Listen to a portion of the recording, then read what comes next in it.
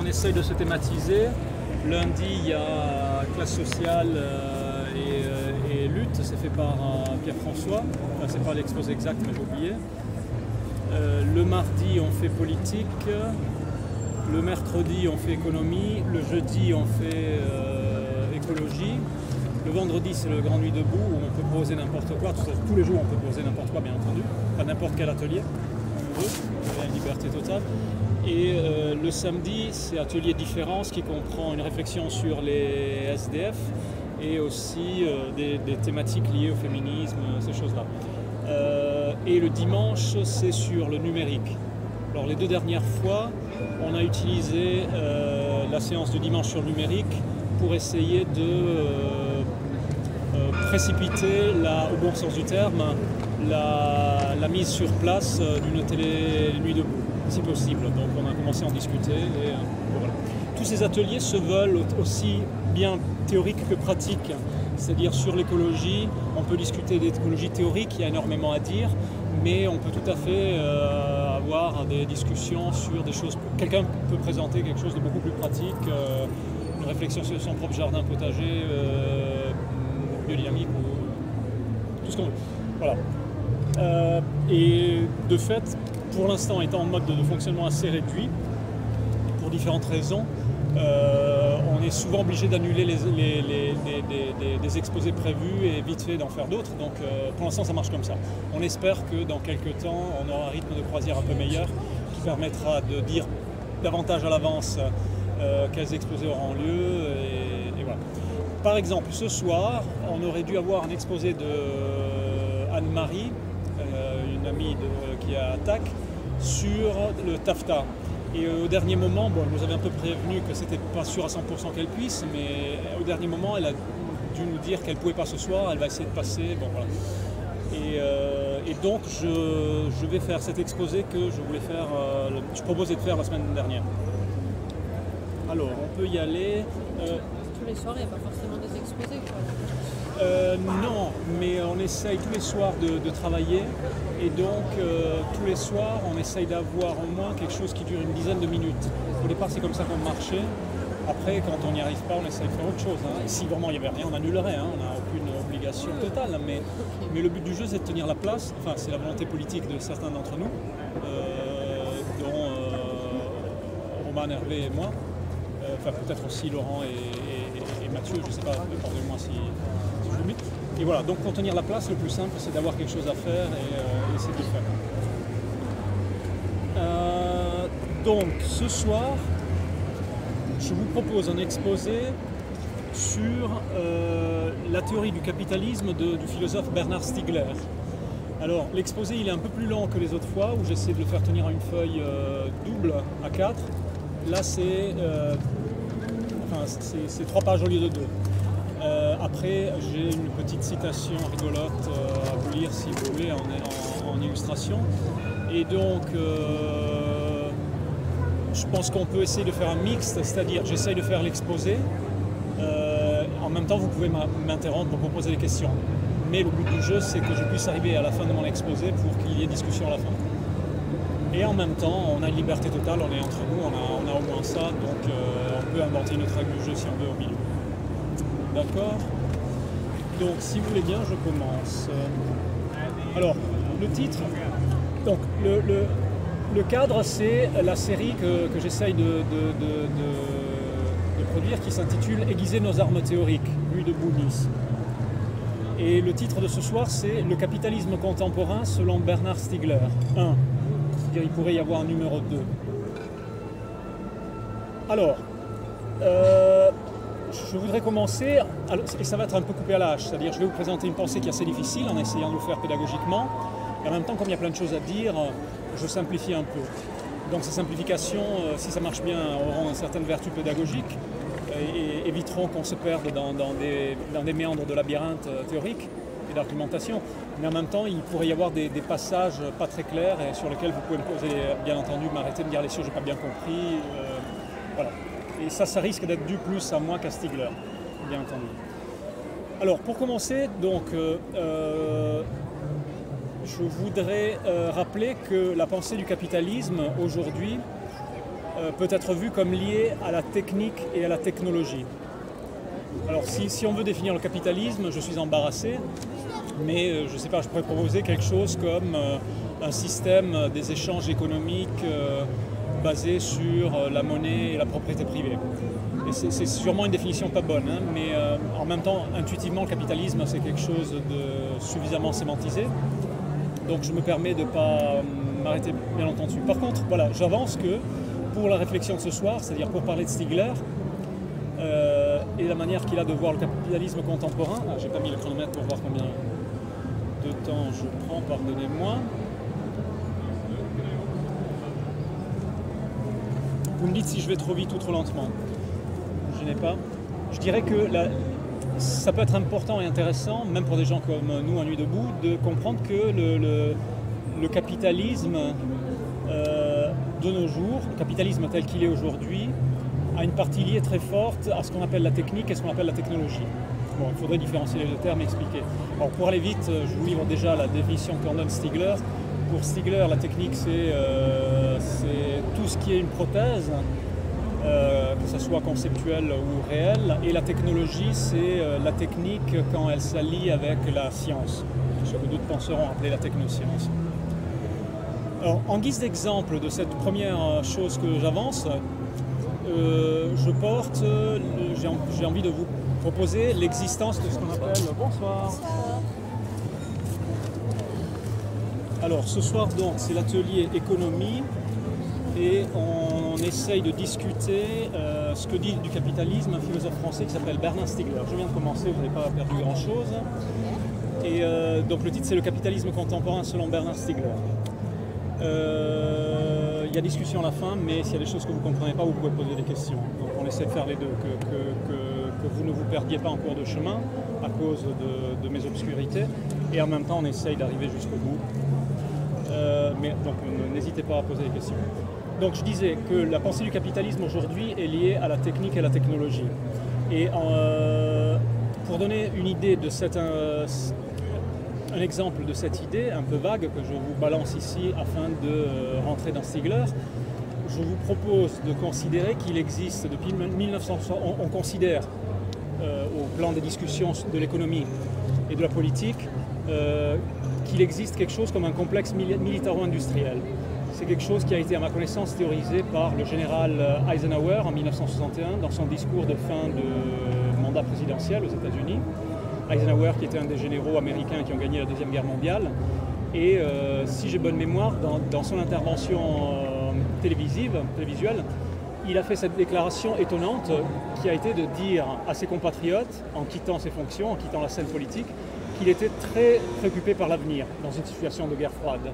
Parce que euh, lui, qui, euh, qui avait goûté à la fonction militaire et qui avait goûté à la fonction présidentielle, observait aux États-Unis l'existence d'une euh, connivence très problématique entre deux sphères en principe séparées et qui sont le militaire et l'industriel. Alors quel est le problème? Le problème c'est que dans un contexte de guerre froide, l'hyperpuissance américaine, pour pouvoir résister euh, à la menace virtuelle de l'Union soviétique, se doit d'avoir un armement très fort.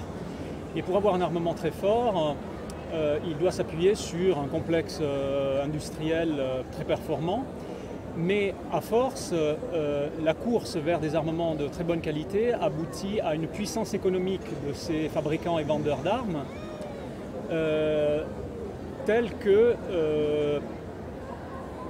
les rapports de force peuvent se renverser. Normalement, c'est le politique qui utilise l'industriel pour se fabriquer des armes et pour défendre euh, la population.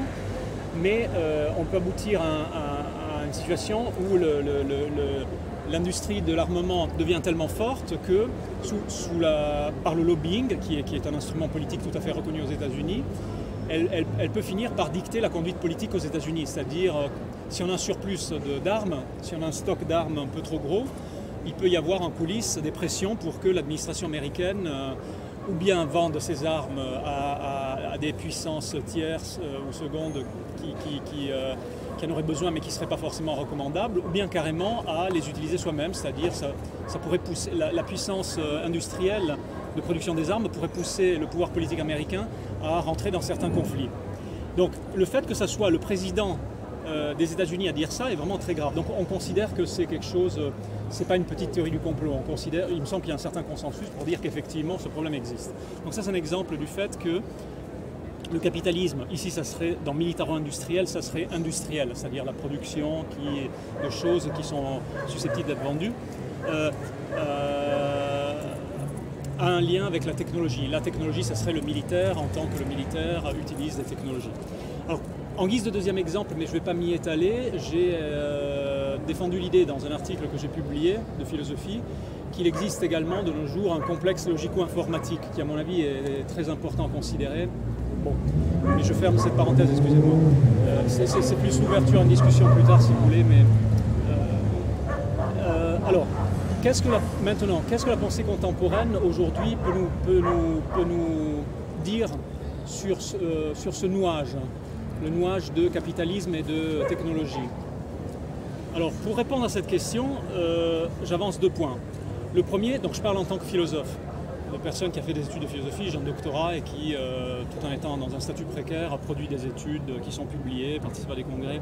Alors, à ma connaissance, et euh, David ici présent, qui est, qui est, également philosophe de formation, pourra me corriger s'il a l'impression que je dis des bêtises, il existe en philosophie contemporaine, et depuis 100 ans, environ une guerre froide terrible entre deux écoles philosophiques. Une qui est nommée philosophie analytique et qui est principalement euh, l'école des États-Unis et, et, de la Grande-Bretagne et de ses amis, et qui se définit comme la philosophie selon laquelle tout doit se baser sur la logique mathématique. Ça, ça fait un peu écho à ce que je disais sur le complexe logico-informatique. Et l'autre euh, école philosophique qui existe de nos jours, c'est ce qu'on appelle la philosophie continentale, c'est-à-dire européenne, qui en gros peut être définie comme étant une philosophie, c'est une école de pensée, un ensemble de gens qui pensent, qui se disent non, pour penser des questions philosophiques, nous ne sommes pas obligés de tout réduire à cette partie des mathématiques qui existe depuis 100 ans et qu'on appelle la logique mathématique, ou logique booléenne, ou euh, algèbre booléenne. Bon. Donc ça c'est le premier point que je voulais rappeler pour rentrer maintenant avec vous dans la philosophie dans Stigler. Le deuxième point c'est que sur la question de la technique, de, euh, oui, euh, il se trouve, me semble-t-il, que la philosophie contemporaine admet pour l'essentiel deux positions euh, opposées. La troisième étant celle de Stigler et de quelques autres. Euh, la, la, première position sur la question de la technique, c'est une position qu'on pourrait appeler de technophobe. C'est-à-dire, il y a beaucoup de philosophes qui ont peur de la technique. Euh, alors, pardonnez-moi, vous me dites si, si, je vous perds là, si, si je suis trop. N'hésitez pas. Peut-être un peu vite. Ah, en même temps, c'est enregistré. Donc, euh, vous me dites. Si je dois aller plus lentement, vous me le dites. Non, c'est pas qu'on est perdu, c'est qu'en fait, on devait euh, donner. Euh, ah, pardon. des affiches en ah, fait. super, super. Voilà, voilà, qui ont été corrigées. Je t'ai passé lundi. des on, trucs. on est arrivé, on n'avait pas prévu forcément de rester, mais du coup, on, on, a eu un tel accueil comme ça, le cercle s'est écarté, on n'a pas, Merci beaucoup. On n'a pas pu lutter. C'est quoi vos prénoms? Alessio Alice. Alice et Jeanne. Jeanne. Alessio, c'est Oui. D'accord, enchanté. David, Romane, Michele, Laurent, Mathieu, Hervé. Ouh là là, j'oublie un Marilou. Marilou, Marilou, Marilou, Marilou, pardon. Merci beaucoup. Bon, vous pouvez y aller quand vous voulez. Bah ouais, du coup. Bah ouais, désolé, hein, Pas de problème. on un peu les trucs, mais Pas de merci problème. beaucoup, bonne soirée, Merci à beaucoup pour les bientôt. affiches. Mais de rien, Bonne fin. Ils plaisir. sont très jolis. C'est tout ce que j'avais vu. Merci. Au revoir. Au revoir, merci. Au revoir. Au revoir. Je vais voir tout de suite. Donc là, le grand geste politique, c'est qu'on a décidé, au lieu que de faire des, des, des, des, euh, des tracts, de faire des affiches. D'accord. Alors, je continue. Donc, je disais, pour, à mon avis, pour, pour voir qu'est-ce que la philosophie peut nous amener, et ce soir on va discuter de Sigler, euh, il faut voir deux choses. Je disais, c'est qu'il y a deux grands camps au niveau mondial. Un camp très précis qui est la philosophie analytique et tout le reste. Et puis que ça, ça induit que sur le problème de la technique, par exemple, il y a essentiellement deux positions. Une position de technophobie, c'est-à-dire que beaucoup de philosophes vont se dire la technique c'est mauvais. La, technique c'est un abâtardissement de la pensée, ça rend les gens bêtes et ça engendre des monstres. C'est très intéressant de comprendre comment ça se met en place, mais euh, c'est très mauvais. Et ça, je, je, fais un peu à la hache, hein, c'est une position qui est surtout celle des philosophes continentaux, c'est-à-dire les philosophes de l'école européenne, parce que des philosophes euh, qui aiment la logique mathématique euh, comme les Américains, il peut y en avoir en Europe aussi, et vice-versa. Aux États-Unis, il peut y avoir des philosophes qui sont à la manière traditionnelle euh, européenne, c'est-à-dire qui refusent que la philosophie soit euh, réduite à la logique mathématique.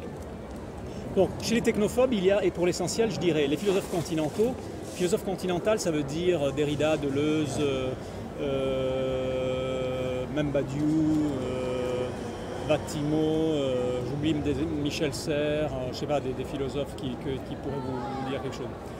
Donc eux, ils sont surtout influencés par la réflexion qu'a faite le grand philosophe allemand Heidegger, dans, bon, première moitié du XXe siècle.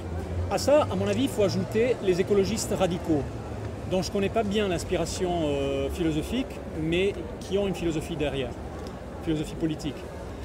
Et euh, en face de ça, il y a des technophiles qui sont, à mon avis, les philosophes analytiques anglo-américains, et il y en a plein en France, hein, encore une fois, les gens qui aiment la logique mathématique. Et, euh, ça, c'est influencé par quelque chose qu'on appelle le positivisme logico-informatique. Donc en bref, pourquoi la plupart des gens qui font de la logique mathématique et de la philosophie aiment bien la, technique parce que la logique, c'est très lié aux ordinateurs. C'est un rapport avec ce que j'appelais tout à l'heure le complexe logique-informatique. Euh, les programmes de, les, théories logiques peuvent souvent se transformer en programmes informatiques. Et, voilà. Donc euh, les gens qui font euh, de la logique mathématique du matin au soir ou qui essayent de réduire la philosophie à la logique mathématique, je ne vous ai pas défini ce que c'est que la logique mathématique, c'est les mathématiques du 0 et du 1, pour aller vite. Ben, ces gens-là, en général, ils adorent Internet, ils adorent les smartphones, ils croient dur comme fer qu'il va y avoir une intelligence artificielle un jour, une vraie intelligence artificielle, des robots intelligents. Et à la limite, ils peuvent devenir technophobes quand ils commencent à réfléchir un peu comme le film Terminator, c'est-à-dire avec l'idée que l'intelligence artificielle, le jour où elle arrive vraiment, ben, on va peut-être être mal parce que les robots, ils vont au bout d'un moment vouloir nous désinguer. Alors, à ce deuxième camp des technophiles, j'ajouterais, et ce point à mon avis est très important, les marxistes, les marxistes renouvelés les marxistes 2.0 ou euh, les cataro-marxistes, c'est-à-dire les marxistes purs. Je dis marxiste pur parce que Stigler se dit marxien. C'est quelqu'un qui est, comme beaucoup de penseurs contemporains, influencé par Marx, mais il ne prend pas la doctrine de Marx pure et dure, euh, que ce soit en économie ou ailleurs. Voilà, alors, maintenant, ayant dit ces choses-là, euh, donc il y a ces deux grandes positions possibles philosophiques sur la technique plus une troisième, qui est celle de penseurs qui de nos jours se disent la technique, elle est à la fois intéressante et effrayante. Il faut, rentrer dedans, il faut regarder. Et euh, même dans ces rapports, euh, par exemple, euh, à l'économie ou à la politique, ben, c'est pas simple. Il y, a, des points sur lesquels ça peut être super. La technique, ça peut relancer l'économie, par exemple. Il peut y avoir des découvertes technologiques, scientifiques, qui, quand on dit technique, c'est très lié à la science, encore une fois. Il peut y avoir des découvertes scientifiques qui engendrent des technologies intéressantes et qui permettent de combattre la faim dans le monde, fabriquer de nouveaux emplois, etc. etc. Donc il y a une troisième école de penseurs qui est entre les deux. Euh, Bernard Stiegler appartient à cette école de pensée.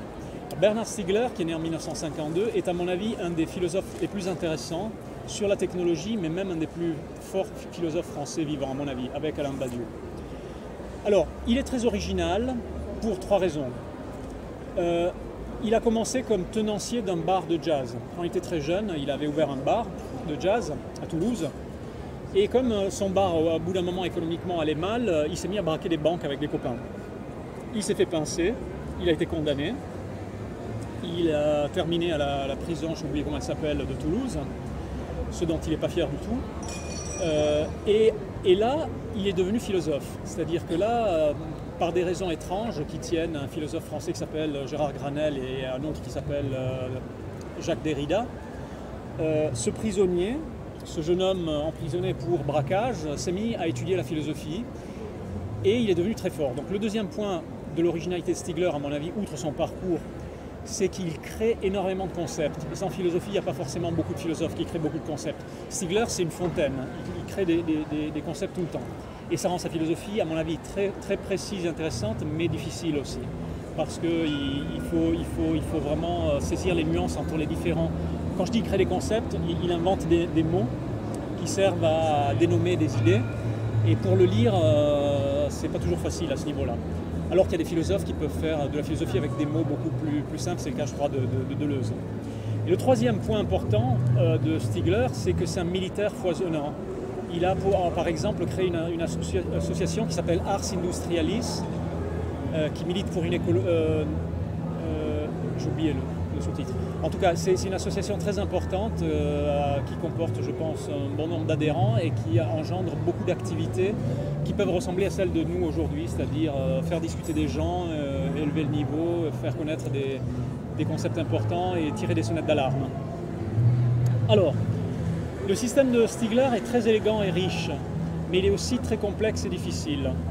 Le livre à lire sur sa philosophie générale, à mon avis, et Stigler est d'accord là-dessus, c'est euh, Philosopher par accident. Ça coûte 18 euros. Si vous voulez lire un livre de Stigler, c'est ce livre-là. Par contre, il est difficile, c'est-à-dire qu'il il rentre vraiment dans des concepts philosophiques. Il est facile parce que c'est un dialogue, mais euh, d'autres livres de Stigler pourraient être plus faciles pour vous, si vous n'êtes pas déjà habitué à la philo. Par contre, le bon, le, bon côté de ce livre-là, c'est qu'il couvre vraiment un spectre très large de la philosophie de Stigler, qui est très riche et très large, justement. Alors, maintenant, Stigler est influencé par de nombreux penseurs du passé, qui, à mon avis, ont été plutôt très bien assimilés par lui et repensés. Beaucoup de philosophes font ça. Par exemple, Deleuze était un très grand professeur euh, sur des tas de philosophes du passé, et en même temps, euh, souvent dans les auteurs du passé, il faisait deux livres. Sur Spinoza, il pouvait faire un livre pédagogique pour que les gens puissent apprendre Spinoza. Et après, il faisait un deuxième livre très compliqué sur Spinoza où lui-même faisait revivre la pensée de Spinoza. Il y a beaucoup de philosophes qui font ça. Lordon, à sa manière, euh, fait ça avec Marx et Spinoza dans, son livre euh, dont je toujours le titre, de 2010, euh, Machin et servitude. Euh, Stigler, il fait ça aussi, c'est-à-dire c'est quelqu'un qui a, qui a mangé les livres des autres philosophes, mais qui sait les faire revivre d'une manière enthousiasmante, qui en montre des côtés nouveaux. Alors, les deux premiers philosophes, penseurs, dont parle Stigler, ah pardon, est-ce que vous avez des questions avant que je continue? Ou des critiques, hein, si, vous pensez que, si vous êtes sceptique sur le genre de choses que je raconte sur l'utilité que ça peut avoir pour, euh, pour nous à Nuit debout. Donc j'ai oublié de vous dire, là je suis dans la partie où j'essaye de restituer euh, le côté philosophique un peu général de Stigler. Et c'est un peu laborieux, mais c'est un cadeau que je vous fais à un sens, euh, si j'arrive à le faire pas trop mal, parce que c'est un, travail un peu ingrat. Par contre c'est utile parce qu'une fois qu'on a rappelé, comme je vais essayer de le faire, les filiations que Stigler vit par rapport à certains penseurs, grosso modo il y en a quatre, après, on peut euh, se lancer dans la question du capitalisme, c'est-à-dire euh, qu'est-ce que Stigler dit sur le capitalisme aujourd'hui? Et là, en utilisant euh, les quatre auteurs, quatre ou cinq auteurs qu'on aura travaillé ici, on va pouvoir voir comment Stigler les combine d'une manière très originale.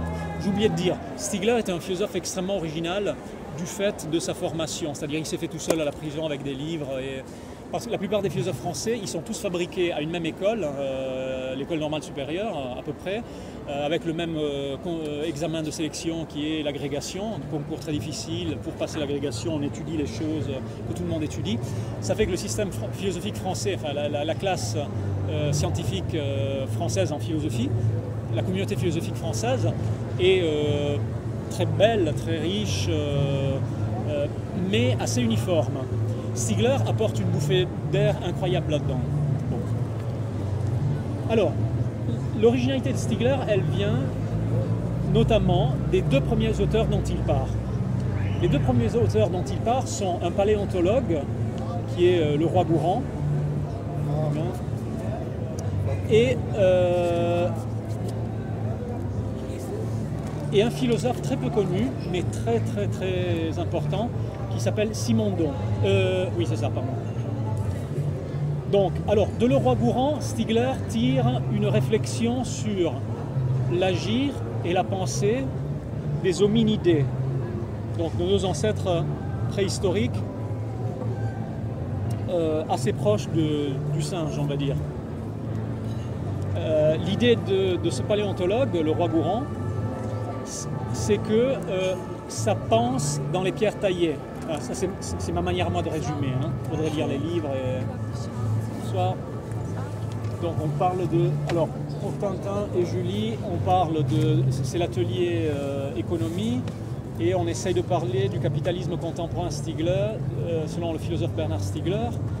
Et donc, euh, donc voilà, on est parti de l'idée que l'avancée du capitalisme aujourd'hui est liée à la technique et la technologie, en guise d'exemple, euh, j'ai mentionné le complexe militaro-industriel d'après le président Eisenhower, et à mon avis un machin qui s'appelle le complexe logico-informatique. j'ai présenté en 2014. Et après, j'ai rappelé qu'il y a deux grandes écoles de, philosophie de nos jours. Enfin, en se posant la question de savoir qu'est-ce que la philosophie Jamais on ne l'a fait, jamais, jamais ça l'a fait. Jamais. Merci. Bonsoir. Ça va Ça va bien. Et donc, en essayant de voir en quoi la philosophie peut nous aider à penser le rapport euh, du capitalisme et de la technique ou technologie, j'ai essayé de rappeler deux points sur la philosophie contemporaine. Le premier, c'est qu'il y a une guerre froide terrible depuis 100 ans entre la philosophie anglo-américaine basée sur la logique mathématique et tout le reste de la philosophie. C'est-à-dire que la, philosophie anglo-américaine, dite philosophie analytique, a essayé il y a 100 ans de faire une OPA. Elle a dit, en réalité, la bonne méthode philosophique, c'est la logique mathématique. Et tout ce qui ne se soumet pas à ça, c'est pas de la philosophie, c'est de la merde. Et bon, il y a une grande partie de la philosophie mondiale qui continue de résister. Il y a donc toujours maintenant une guerre froide. comment s'appelle cette contre euh, L'autre courant s'appelle la philosophie continentale et ça montre à quel point c'est barbare. Parce que philosophie continentale, c'est le point de vue anglo-américain et notamment anglais, c'est parti d'Angleterre. C'est-à-dire le continent, c'est l'Europe. La philosophie analytique, elle s'appelle comme ça parce que sa méthode est analytique. Alors que la philosophie continentale s'appelle comme ça parce que c'est les sauvages. C'est les gens. D'un côté, il y a une définition qui est méthodologique, de l'autre, il y a une définition qui est géographique. C'est dire la, violence de la séparation entre les deux. Et bon, donc c'est une guerre, très dure euh, qui fait que si vous êtes étudiant en philosophie, euh, rapidement, au niveau licence maîtrise, enfin licence, euh, je ne sais plus comment ça s'appelle, master 1, licence 3 ou master 1, vous devez décider de quel côté de la barrière vous êtes c'est-à-dire euh, quel, type de philosophie vous faites. Sauf si vous faites de l'histoire de la philo. Si vous faites de l'histoire de la philo, vous pouvez ne pas vous positionner. Mais si vous faites de la philo contemporaine, vous devez vous positionner et même vos financements vont se déterminer par rapport à ça. Et pour l'instant, ça survit par une ignorance totale. Il y a des fois des escarmouches, mais généralement, il y a une ignorance totale. Les départements sont séparés. Bon, ça, c'est le premier point. Le deuxième point, c'est que de manière conséquente à cela, si on se pose la question de savoir comment la philosophie ou la pensée en général peuvent penser de nos jours la technique et la technologie, eh ben, il y a deux grandes positions qui sont les technophobes, ça c'est les Européens, influencés par Heidegger, plus les écologistes radicaux, et les technophiles, ça c'est plutôt euh, les philosophes analytiques qui adorent la logique mathématique et donc l'informatique, et donc Internet, et donc les smartphones, et donc les, réseaux sociaux, plus euh, les marxistes en général.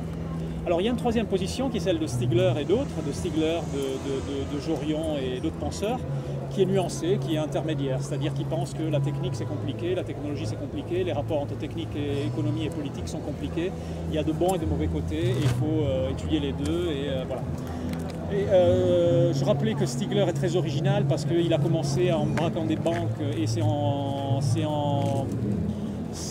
prison qu'il est devenu philosophe. À mon avis, très très bon philosophe, protégé par Derrida et d'autres. il crée beaucoup de concepts, mais de ce fait, il est très difficile à lire. Enfin, il est très difficile à lire. Comme Derrida, Non, beaucoup plus facile que Derrida, mais, euh, mais par contre, il, crée tellement de concepts qu'il faut vraiment se faire soi-même un lexique pour le suivre. Euh, ce livre, c'est le livre pour s'introduire, le meilleur à mon avis. Bon voilà. Et donc, euh, on en arrive à peu près où on a été avant que Tintin et Julie arrivent, et, je ne sais plus pas quel est ton Pierre, et Pierre, Pierre arrive. J'essaye maintenant de, caractériser philosophiquement Stigler, euh, c'est important pour après pouvoir rapidement euh, comprendre sa position sur le capitalisme. Alors pour comprendre Stigler, il faut comprendre quels sont les auteurs qui, l'influencent principalement et pourquoi. Et une fois qu'on a compris ça, on peut voir comment il combine ces éléments et comment à partir de ça, il arrive à une vision très originale et à mon avis très intéressante sur le capitalisme. Mais ce soir, je ne dirai que certaines choses. Après, sur le capitalisme, s'il y a lieu, euh, il y aura une deuxième séance. Euh, basé par exemple sur un article qu'il a publié récemment sur l'humanité, Stigler. Alors, au niveau des, penseurs qui l'influencent, euh, il y a euh, les deux premiers sont le roi Gourand et Simondon. Le roi Gourand, c'est un paléontologue et, Simondon, c'est un philosophe peu connu mais très important. Le roi Gourand, donc, c'est un, paléontologue, c'est un spécialiste de d'hominidés. Et en gros, si je résume sa thèse telle qu'elle est importante pour Stigler, c'est l'idée que ça pense dans les pierres taillées. Dans les pierres taillées qu'on trouve euh, des hominidés, euh, il, y a déjà, il y a déjà une pensée en acte. Et euh, bon, il faudrait rentrer dans ça. Hein. Le roi Bourran, il fait, il fait plein de livres. Stigler, il lui-même écrit des livres pour commenter ça. Là, je ne vous le fais pas. Je vous donne juste cette.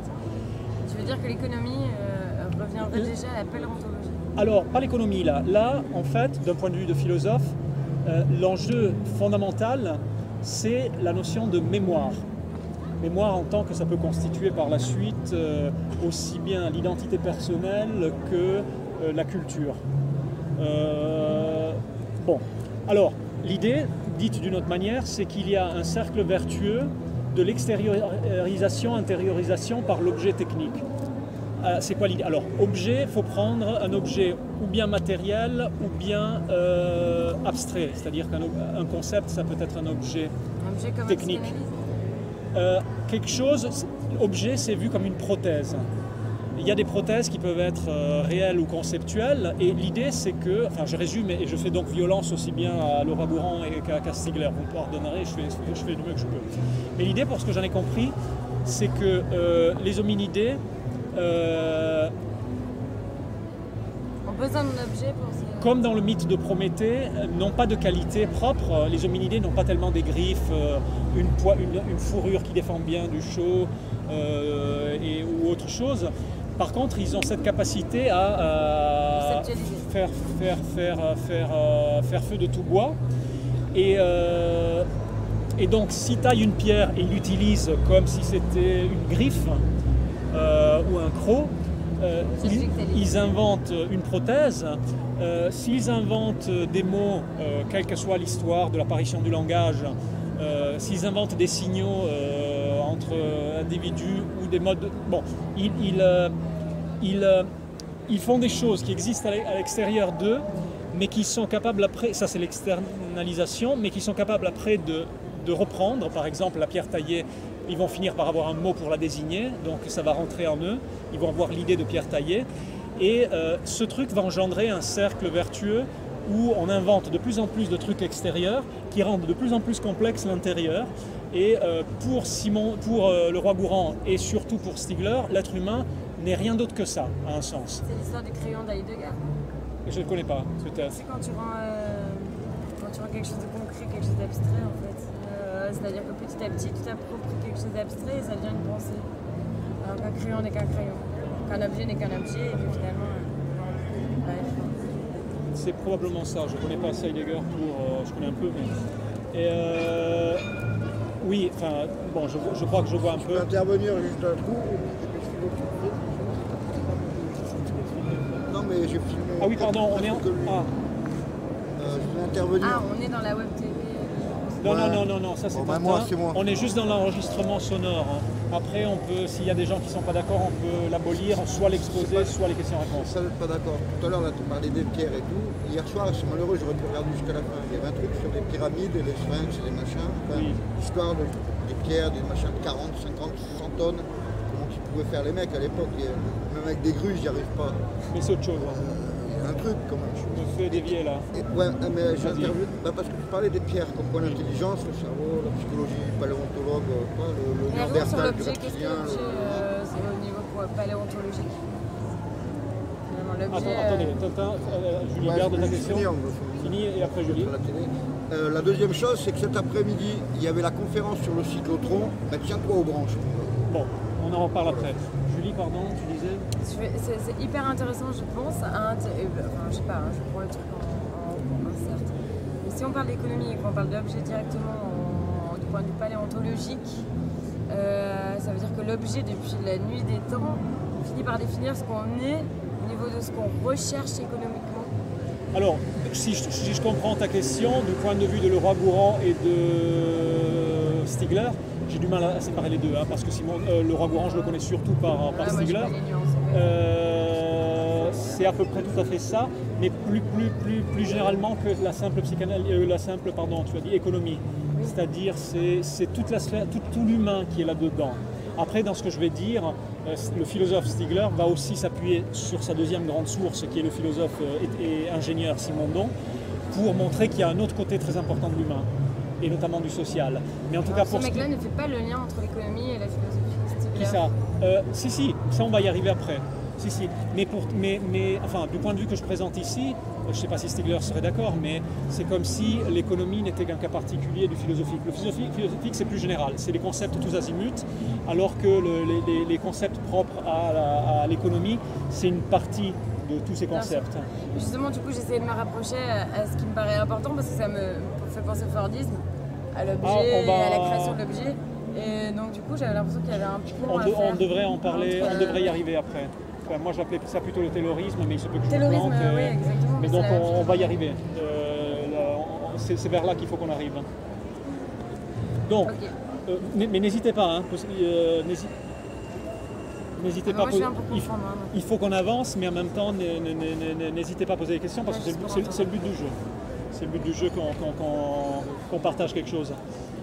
Alors, donc ça c'est pour le roi Gourand. La deuxième grande source de, Sim- de- de- de Stigler, c'est Simondon, qui était un ingénieur et un philosophe. C'était un philosophe très peu connu. Il était né à Saint-Étienne, il est mort en 84 je crois, il était né en euh, 24, un truc comme ça, il est mort relativement jeune. Très peu connu, ces dernières décennies, il est en train de devenir de plus en plus célèbre parce qu'on s'aperçoit qu'en fait c'est un penseur fantastique. Et il a quand même influencé à fond, mais de manière discrète, Deleuze. C'est-à-dire Deleuze, qui est très connu, doit beaucoup à Simondon, mais il ne l'a pas beaucoup dit. Il doit à Simondon, Simondon, pardon il est né en 1924, je crois, et je crois qu'il est mort en 1984. Donc contemporain de Deleuze Oui, Deleuze, il est né en euh, 25 ou 24, je ne sais plus, et il est mort en 95. Et, euh, et Simondon, alors, de quoi il est philosophe En quoi il intéresse euh, ah, Pardon, il a influencé Deleuze pour une notion, je la mentionne tant que j'y suis, qui est la notion de pré-individuel, qui va avoir un rapport avec ce qu'on va dire. C'est-à-dire, l'idée de Simondon, c'est que euh, penser avec les individus, c'est bien, mais il y a des machins qui existent avant les individus et dont les individus ne sont que des concrétisations. Et ça, c'est une idée, l'air de rien, assez révolutionnaire, en tout cas quand on va voir la manière qu'a Simondon d'y arriver. Et euh, c'est une idée euh, que Simondon a tirée un peu des sciences. Simondon était ingénieur, donc il connaissait assez bien la physique. Cette idée-là, il a tiré, je crois, de la physique quantique, avec l'idée de, de l'indétermination quantique. Mais ah, sinon, il a été très influencé par des notions de biologie, et notamment par la notion de métastabilité. Là, on ne va pas y rentrer directement. Euh, donc ça, c'était une petite parenthèse sur Simondon et Deleuze. Euh, sur Stigler, alors qu'est-ce que Stigler prend de Simondon Euh, euh, Stigler prend de Simondon, et c'est ce qui nous intéresse ce soir, pour arriver à penser le capitalisme de nos jours, une double réflexion. Une sur la technologie, l'essence du technique. Simondon, qui était un ingénieur, a écrit, a fait une thèse d'État française et a écrit des livres sur qu'est-ce qu'un objet technique. Et ça, il l'a fait d'une manière beaucoup plus intéressante que ce que font la plupart des philosophes. Quand Heidegger, qui pourtant est un très très grand philosophe, s'occupe de technique, Heidegger, euh, voilà, il pense probablement le crayon et euh, d'autres choses, Qu'est-ce qu'un objet mais il ne va pas mettre, il, pense plus l'objet que la technique et la technologie. Il ne va pas mettre les mains dans- vraiment dans le cambouis.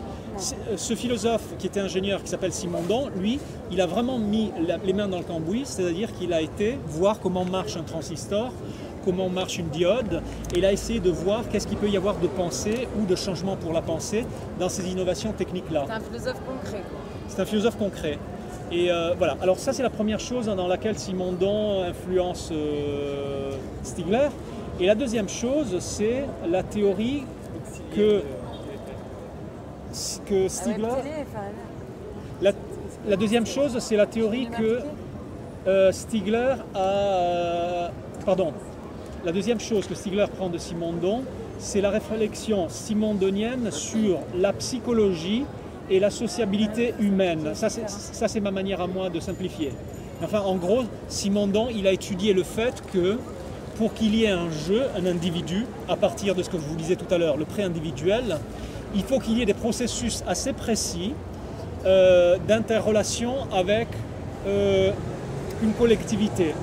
Et ça va dans l'autre sens. Pour que la collectivité existe, il faut que des individus euh, naissent. Enfin, il faut que les individus et la collectivité naissent en même temps. Simondon ne dit pas simplement qu'une collectivité est faite de plusieurs individus. C'est-à-dire ce soir, par exemple, nous, euh, nous sommes euh, l'ensemble des personnes qui sont, assises ici. C'est pas ça qu'il est en train de dire Simondon. Il y a une réflexion beaucoup plus complexe mais intéressante euh, sur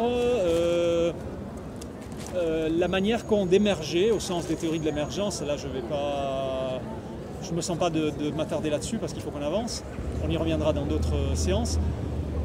Mais il y a une sorte d'autoconstitution de, de l'individu et de la collectivité.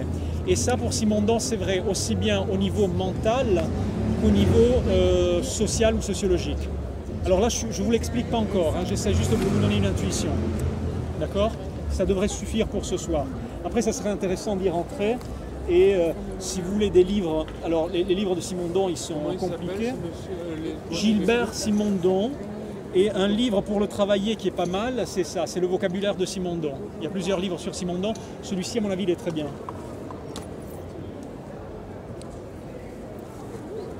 Donc je disais sinon que pour, pour avoir accès à la théorie philosophique de Stigler, le mieux c'est ce livre-là, mais qui est assez difficile. Enfin, c'est des dialogues, c'était, une conf- c'était des conférences sur Excuse-moi, France Culture. Excuse-moi un petit peu deux secondes. Pardon. Euh, en quoi euh, cette théorie de Stigler peut nous intéresser, euh, nous qui faisons partie de la nuit de Euh, alors, elle peut nous intéresser parce qu'elle va aboutir dans ce qui suit, dans ce que je vais essayer de dire euh, par la suite, à comprendre d'une manière nouvelle le fonctionnement du capitalisme et entre autres la manière dont on peut utiliser Marx là-dessus. C'est-à-dire que du point de vue de Stigler, si on prend Marx au pied de la lettre, on peut avoir l'impression que ça ne marche plus. Il y a des concepts qui ne marchent plus, par exemple le prolétaire. Alors que Stigler, s'appuyant sur ce genre d'ingrédients, après, de manière que je vais essayer de vous expliquer, euh, partager avec vous, Stigler pense que euh, on peut s'apercevoir qu'en réalité, plusieurs grands concepts marxiens marchent toujours. Si on, si on la lutte des classes par exemple ou- Euh, oui, voilà, la lutte lutte des classes, On la, la, la, la donne. Pardon On vend notre force de travail plutôt qu'on la, donne pour enrichir les entreprises, c'est de choses. Il y a des choses comme ça pour comprendre quels sont les nouveaux enjeux de spoliation capitaliste. C'est-à-dire pour Stigler, le, le capitalisme est en train de spolier des terrains nouveaux qui sont assez subtils. Et effectivement, euh, Stigler fait partie des penseurs qui dénoncent ça, mais il n'y en a pas forcément euh, eu une quantité énorme. Donc l'enjeu, c'est d'arriver à ça. Allez, je vais aller un petit peu plus loin. En quoi ça va nous servir à Nuit debout d'apprendre ça? Qu'est-ce qu'on va en faire? À mon avis, ça peut nous servir à construire à la longue, à Nice, mais plus largement ailleurs, euh, un regard plus intelligent de la situation et à, vraiment mieux comprendre quelles sont nos différences et éventuellement trouver des points de convergence. Nos différences, c'est par exemple celles et ceux d'entre nous qui sont marxistes et qui détestent euh, Keynes et donc Piketty, ceux d'entre nous qui aiment euh, Keynes et donc Piketty et qui se méfient comme la peste de Marx, et ceux d'entre nous qui, euh, euh, qui pensent qu'il y a un complot et que c'est les Illuminati, ceux d'entre nous qui pensent que les théories du complot c'est de la merde, etc. etc., etc. C'est d'arriver à ça plus autre chose. hein. C'est- d'arriver à être plus fort là-dessus. Je suis désolée, hein, du coup, je vais, terminer le, Enfin, je vais terminer. Je vais interrompre l'atelier en, en juste disant Ok, super, mais qu'est-ce qu'on va en faire de ça, nous, Nuit debout? À- alors, Il faudrait quand même qu'il aille au bout. à mon avis, au moins deux choses. Est-ce qu'on doit toujours aller au bout des ateliers pour pas avoir besoin de. Ah, bon, je, je peux, je peux donner une petite Parce que anticipation. moi, ce que je trouve génial, hein, mais désolé, ça fait longtemps Alors, que. À mon avis, euh, la première des choses, c'est de comprendre quels sont le- le- à quelle sauce on est en train de nous cuisiner. C'est, c'est- quitte, quitte à, quitte à se faire euh, manger, euh, je pense que c'est mieux de, de conscient de ce qui arrive. Totalement. Et, et deuxièmement, euh, Stigler propose, Stigler comme d'autres, propose, euh, propose des instruments de lutte.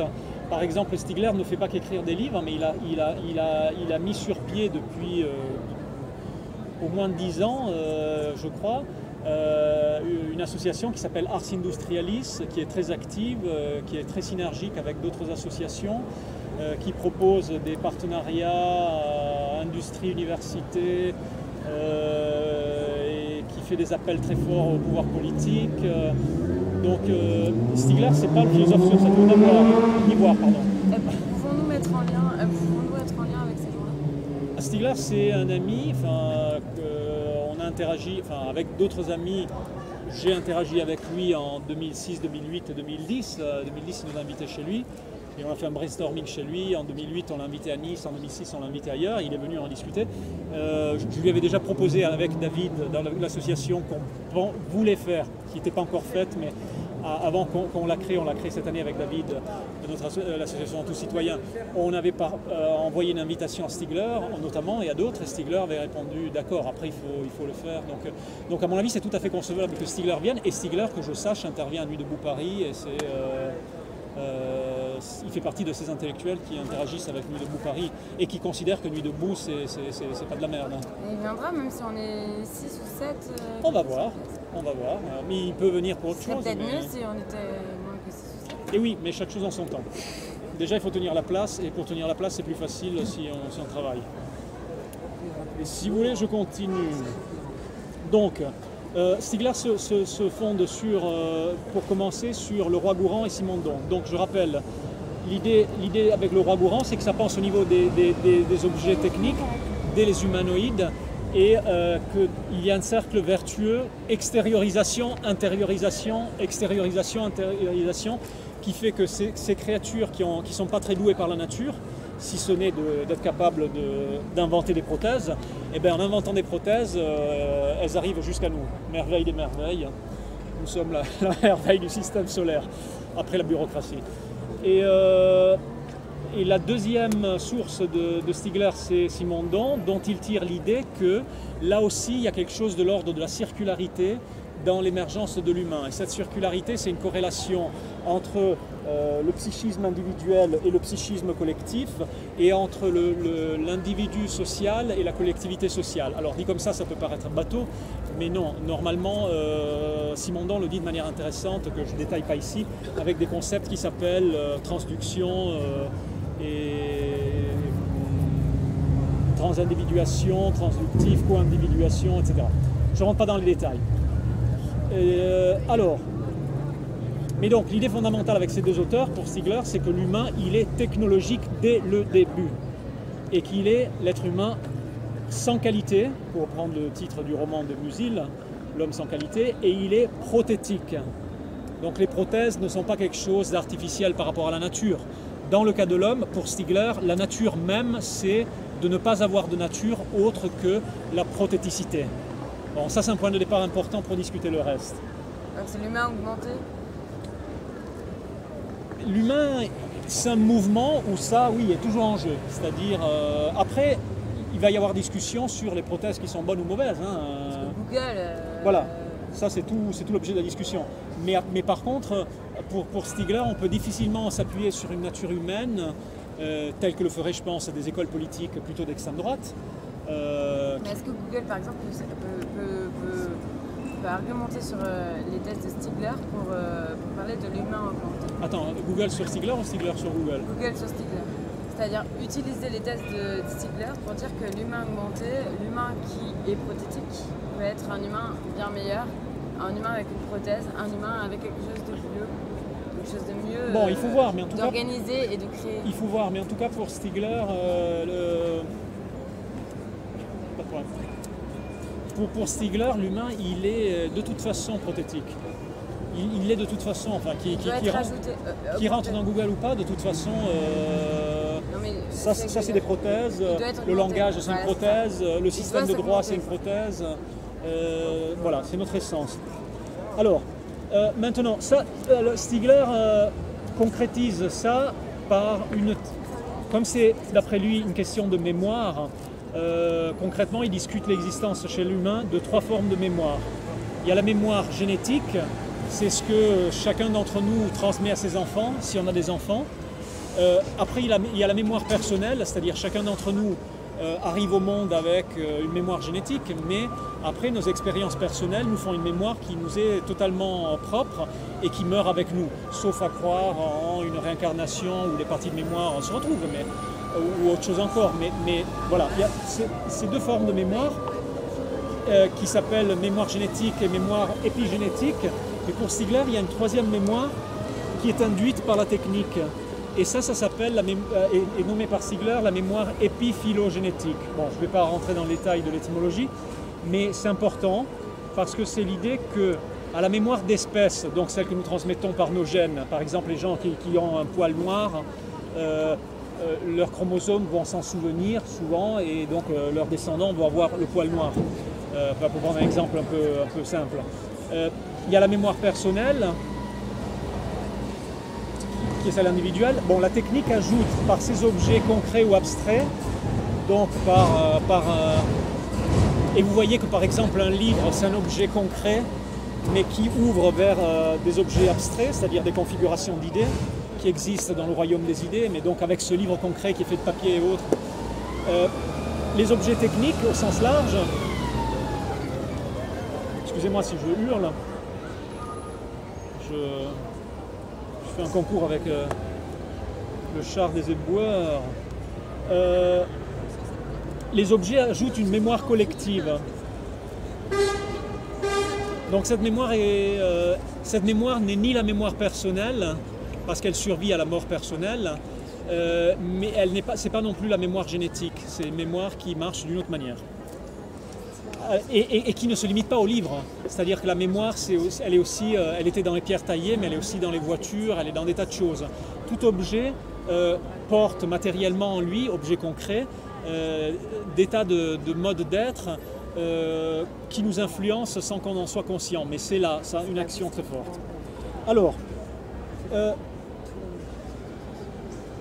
euh, Je peux intervenir juste sur un. mais il faut qu'on aille vite hein, parce que je suis très lent. Vas-y.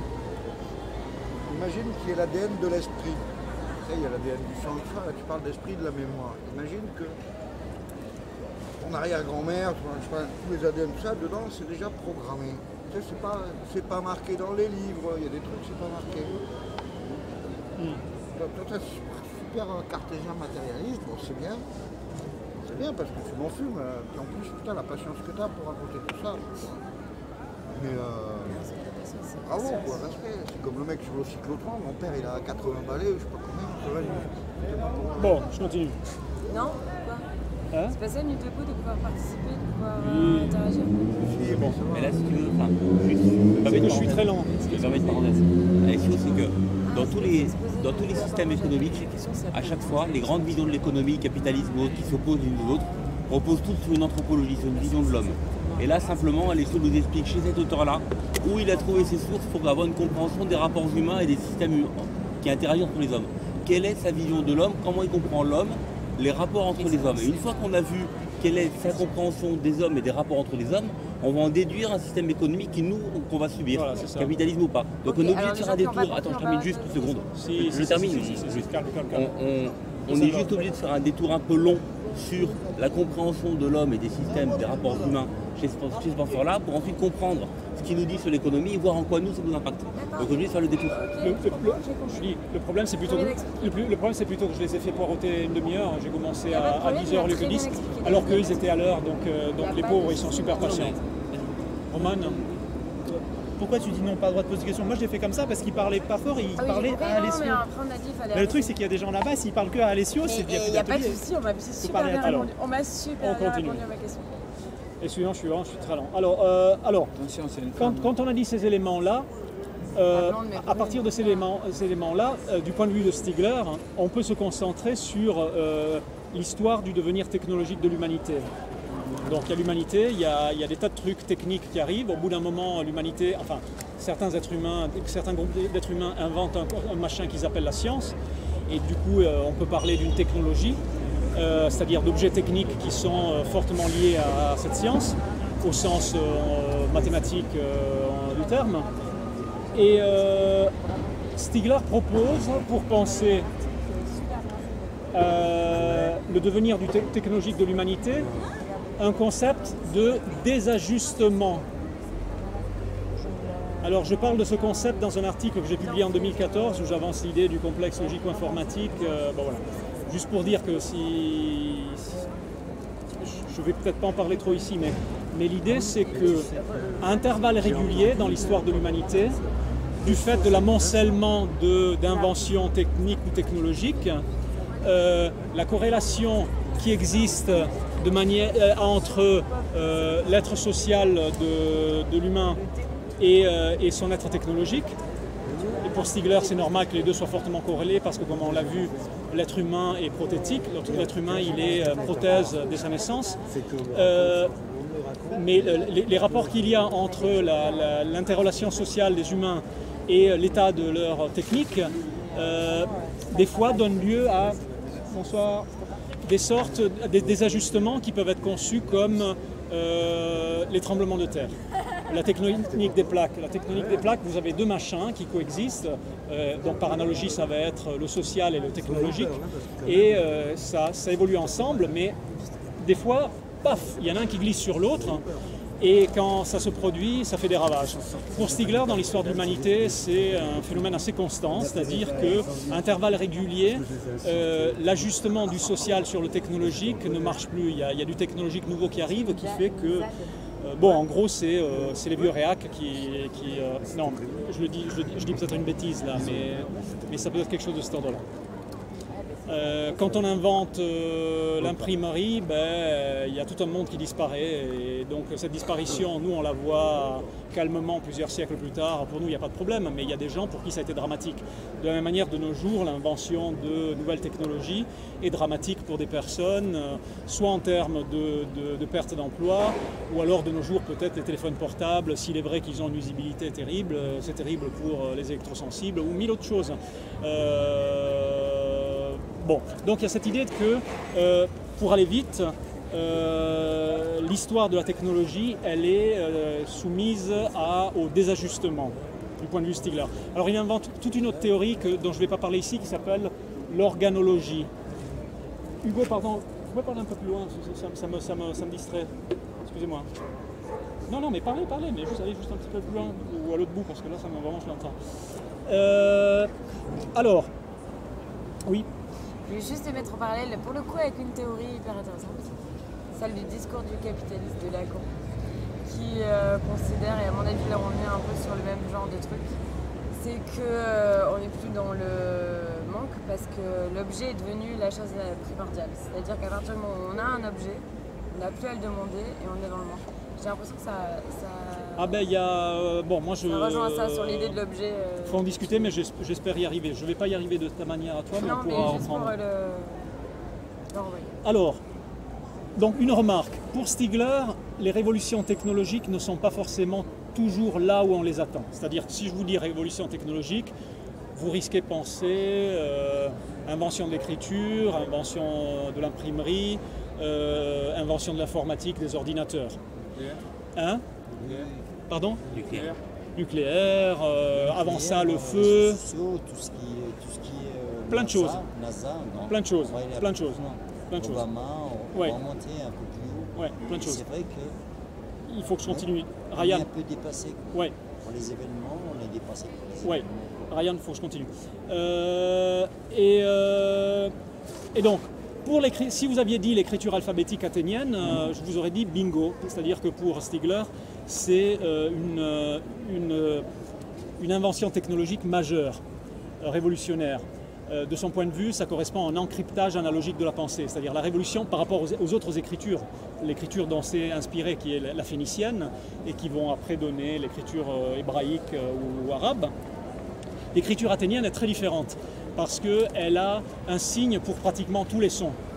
Et donc, il n'y a pas d'interprétation. C'est-à-dire, si vous lisez un mot, si vous connaissez la langue grecque et que vous lisez l'alphabet grec euh, athénien à l'époque euh, athénienne classique, en 500 avant Jésus-Christ, euh, vous lisez un mot, même si vous ne le connaissez pas, vous voyez exactement comment il se prononce d'après celui qui l'a écrit. Alors qu'en écriture phénicienne, hébraïque ou arabe, c'est pas du tout comme ça. Si vous lisez un mot, là je sais un petit peu de quoi je parle. Enfin, vous pouvez me contester, mais j'aime beaucoup ces langues euh, sémitiques, donc euh, c'est un problème qu'on rencontre vraiment. Quand on lit un mot, bon, euh, Mehdi, me- tu me corriges si, si je dis une bêtise. Quand on lit un mot en arabe, par exemple, si on ne connaît pas ce mot, du fait que dans l'écriture courante, les journaux par exemple et les livres, les voyelles ne sont pas marquées, euh, il faut qu'on on devine quelles sont les voyelles. On voit écrites les consonnes ou les demi-voyelles, genre demi-consonnes, genre we, ye, euh, a. Mais on n'aura ni a, ni ou, ni i. Et donc si on lit kitab, il faut qu'on sache si c'est kitab, katoub ou autre. Donc si on connaît le mot, et généralement on les connaît, on devine tout de suite le sens, mais sinon, il y a- il y a en tout cas une interprétation qui est nécessaire. Ça c'est typique des langues sémitiques. Dans la langue athénienne et dans beaucoup de langues inspirées d'elle, comme le latin, comme euh, le français, même si l'orthographe française, euh, on pourrait en dire beaucoup de choses, euh, il y a une univocité euh, totale que Stigler appelle encryptage analogique. Dans ce cas-ci, c'est un encryptage euh, analogique de, de la pensée, enfin de la, et ça, c'est une révolution majeure parce que euh, ça, fait basculer dans un système où on est capable d'enregistrer euh, une pensée, par exemple, prenez les dialogues de Platon, exactement de la même manière que les pensées Platon. Enfin, on ne sait pas comment marche un esprit humain, mais l'enchaînement des idées de Platon, euh, euh, si Platon prend la peine de le décrire sur papier et euh, papyrus et que ça nous arrive, nous, euh, 2500 ans plus tard, on l'a tel que c'était chez Platon. Et ça, donc, c'est une forme de- d'enregistrement analogique. Euh, de la même manière que si vous écoutez un disque euh, vinyle, c'est un enregistrement analogique du son, c'est-à-dire que les sillons euh, dans le vinyle euh, qui vont engendrer le son sur l'aiguille métallique ont à peu près la même forme, euh, selon une convention donnée et technologiquement efficace, que le rapport entre les notes. Ça, c'est un encryptage euh, analogique. Donc, l'encryptage euh, au niveau de, l'image, ça peut donner la- l'argentique, etc. Bon, ça pour Stigler, c'est un truc majeur et ça ouvre plein de choses. Dans ses livres, Stigler explique que, de manière très convaincante, que c'est vraiment l'écriture et l'écriture publique sur les murs de la ville à, Athènes, des lois. Les Athéniens ont écrit leurs lois sur le mur de la ville qui a engendré le droit tel que nous le concevons. euh, alors qu'il existait avant déjà le code d'Hammurabi, le, décalogue euh, chez, les Hébreux, euh, et des tas de choses. Mais les Athéniens, euh, avec cette invention-là, changent plein de choses. Et c'est ce qui expliquerait la floraison soudaine de philosophie, avec d'autres considérations sûrement, il n'y a pas que ça. Mais si je vous donne un deuxième exemple de grande révolution technologique, et qui est le phonographe, comme on disait, c'est-à-dire le, le vinyle, Là, vous allez peut-être être étonné, c'est-à-dire, euh, je pense que peu de vous auraient parié que ça, c'est une invention majeure. Pour Stigler, pour des raisons qu'on va voir maintenant, euh, c'est une invention majeure. Donc, l'idée, c'est que, du point de vue qui est le sien, qui est une théorie euh, philosophique assez complexe et solide, euh, l'importance pour l'humanité des inventions n'est pas forcément là où on l'attend. Bon. Alors, maintenant, et pourquoi le phonographe c'est important? Ben, Parce que euh, un autre- une autre grande influence sur euh, Stigler, vous m'arrêtez quand vous en avez marre, hein, c'est les philosophes. Husserl et Derrida. Hein? Pardon. C'est excellent. Bon, alors, donc une autre grande influence de Stigler, je vous avais dit hein, qu'il faut qu'on en digère quelques-unes de ces influences, elles ne sont pas infinies, et- mais et après, à partir de ça, ça va être beaucoup plus rapide de discuter la théorie du capitalisme et, euh, Quelle et- période Stiger il était au monde? Stigler, il est vivant, il est né en 1952. Comme Derrida qui est mort. Derrida, mais il était né en 1930, Bien. je crois. Merci. Et euh, par contre, Husserl, il est né en 1856, quelque chose comme ça. Et Husserl, c'est un monsieur en philosophie, qui était mathématicien au départ, puis est devenu philosophe, très important parce qu'il a inventé un courant, qui est un courant très important de la pensée contemporaine, et qui va du côté de ce qu'on appelait tout à l'heure la philosophie continentale européenne, qui refuse la logique. Il a inventé un machin qui s'appelle la phénoménologie. Alors Stigler est influencé par Husserl et par un élève qui est Dieu qui a Derrida. Le mot, Heidegger. phénomène, le mot Heidegger, c'est après Husserl. Ah, Oui, oui. ouais, ouais, Le mot phénoménologie a été inventé par euh, un gars qui s'appelle Lambert. Il y a Hegel qui a fait un livre. Hein? Heidegger, euh, Heidegger, il est né en 1889. Il est mort en 1976, un truc comme ça. Donc, Husserl invente en- euh, vers 1900, à partir de 1900, il invente un machin qui s'appelle la phénoménologie. Il est inspiré par d'autres gens avant lui, Brentano. Mais ce truc-là, c'est- quoi? C'est, enfin, je le dis à hache, si j'avais des copains phénoménologues, ils hurleraient, peut-être que David, il va hurler. Euh, David, qui est, je répète, philosophe de formation. La phénoménologie, pour aller vite, c'est l'étude méthodique de la constitution du mental par l'intentionnalité. Donc l'idée, c'est que, et c'est très différent de la psychanalyse, L'histoire du crayon de Heidegger, quand même, ça a sûrement un rapport parce qu'Heidegger, il vient de cette Voilà. école-là. Non, mais oui, mais pour, pour me restituer moi-même dans le. Moi, je ne peux pas encore te suivre parce que j'ai j'ai pas en tête les je suis- sortes de... Je suis bloqué sur Heidegger. En tout cas, pour ces gens-là, il y a l'idée que euh, la conscience humaine, elle est basée sur l'intentionnalité, c'est-à-dire sur le fait de viser quelque chose. Et à, à part ça, tout être humain, il est soumis à un flot de perception. La quantique, la quantique aussi, elle, elle attribue aussi. La quantique, La physique quantique, qui est quantique, donc euh, la, la physique quantique, elle attribue aussi à tout ça. La psychanalyse, la phénoménologie, Si, en euh, mais là, mais là, on se concentre plus sur, sur la philosophie que sur la physique, si tu veux bien. Mais après, on peut en discuter. Bonsoir. Et donc, euh, euh, Donc la phénoménologie, euh, qui, a été inventée par, grosso modo par Husserl, qui est un des maîtres de Stigler, c'est l'étude méthodique de la constitution du mental par l'intentionnalité. Donc l'idée c'est que euh, nous on vit de manière euh, comme ça in- intuitive, mais en réalité il y a plein de choses qui se passent dans notre tête, ça c'est la doctrine d'Husserl, la théorie d'Husserl, la phénoménologie. Et par exemple, si je regarde là-bas, je vois des taches jaunes, je vois une tache noire, mais je perçois aussi Hervé. Et à un autre niveau, je perçois un être humain. Donc pour la phénoménologie, il y a des tas de niveaux de perception différents. Et euh, ces niveaux, ils sont reliés par des tas de constructions mentales euh, que la plupart d'entre nous faisons intuitivement sans nous poser de questions. Mais les phénoménologues, eux, ils, essayent d'étudier ça. Donc, bon. Euh, je ne vais pas rentrer dans les détails. Si vous voulez, on peut en parler plus tard ou dans un truc. Ce qui est important pour Stigler, c'est qu'il est influencé par ça et que cette influence lui donne euh, une idée sur ce que c'est qu'un esprit humain, une idée autre que ce qu'on a déjà vu avec l'influence de euh, le roi Gourand et de Simondon. Et alors la leçon, ce que- la phénoménologie apporte à, Stigler comme compréhension de l'humain, et comme disait David, ça, ça va nous, être nécessaire pour après penser l'échange économique et les rapports politiques qui peuvent exister liés à ça, c'est l'idée que euh, la structure de l'esprit humain, ça c'est une thèse du est celle d'un objet temporel musical. Alors, qu'est-ce que- à dire? C'est- C'est-à-dire que Husserl, qui étudie donc euh, la constitution des pensées, il décompose les pensées, il remarque qu'il y a des objets, parmi tous les objets possibles, et objet chez lui, ça veut dire, ça peut être concret ou abstrait. Il y a des objets qui ont pour caractéristique euh, d'avoir un écoulement temporel. Ce n'est pas le cas de tous les objets, mais il y a des objets qui ont pour caractéristique d'avoir un écoulement temporel. Notre perception, nous, des objets, elle est toujours temporelle. Si je regarde ce livre, ce livre, il ne s'écoule pas, mais ma perception, elle s'écoule. C'est-à-dire, je le vois maintenant, je le vois après, s'il change, je le vois changer. Euh, mais il y a des objets qui, euh, même indépendamment de notre conscience, sont temporels en eux-mêmes. Et euh, l'exemple type, c'est le morceau musical. Le morceau musical, pour le saisir, il faut, avec l'esprit, euh, y faire une gymnastique entre ce qu'on perçoit à un moment et ce qu'on perçoit après, le rapport d'une note à la note qui suit, etc. Bon. Or, quel est l'élément intéressant là-dessus? Le truc, c'est donc que... Pardon? J'entends rien. Dans. On est. Intemporellement, quoi. on vit intemporellement. quoi. Donc on essaie de vivre, d'exister, et malheureusement, on essaie de comprendre.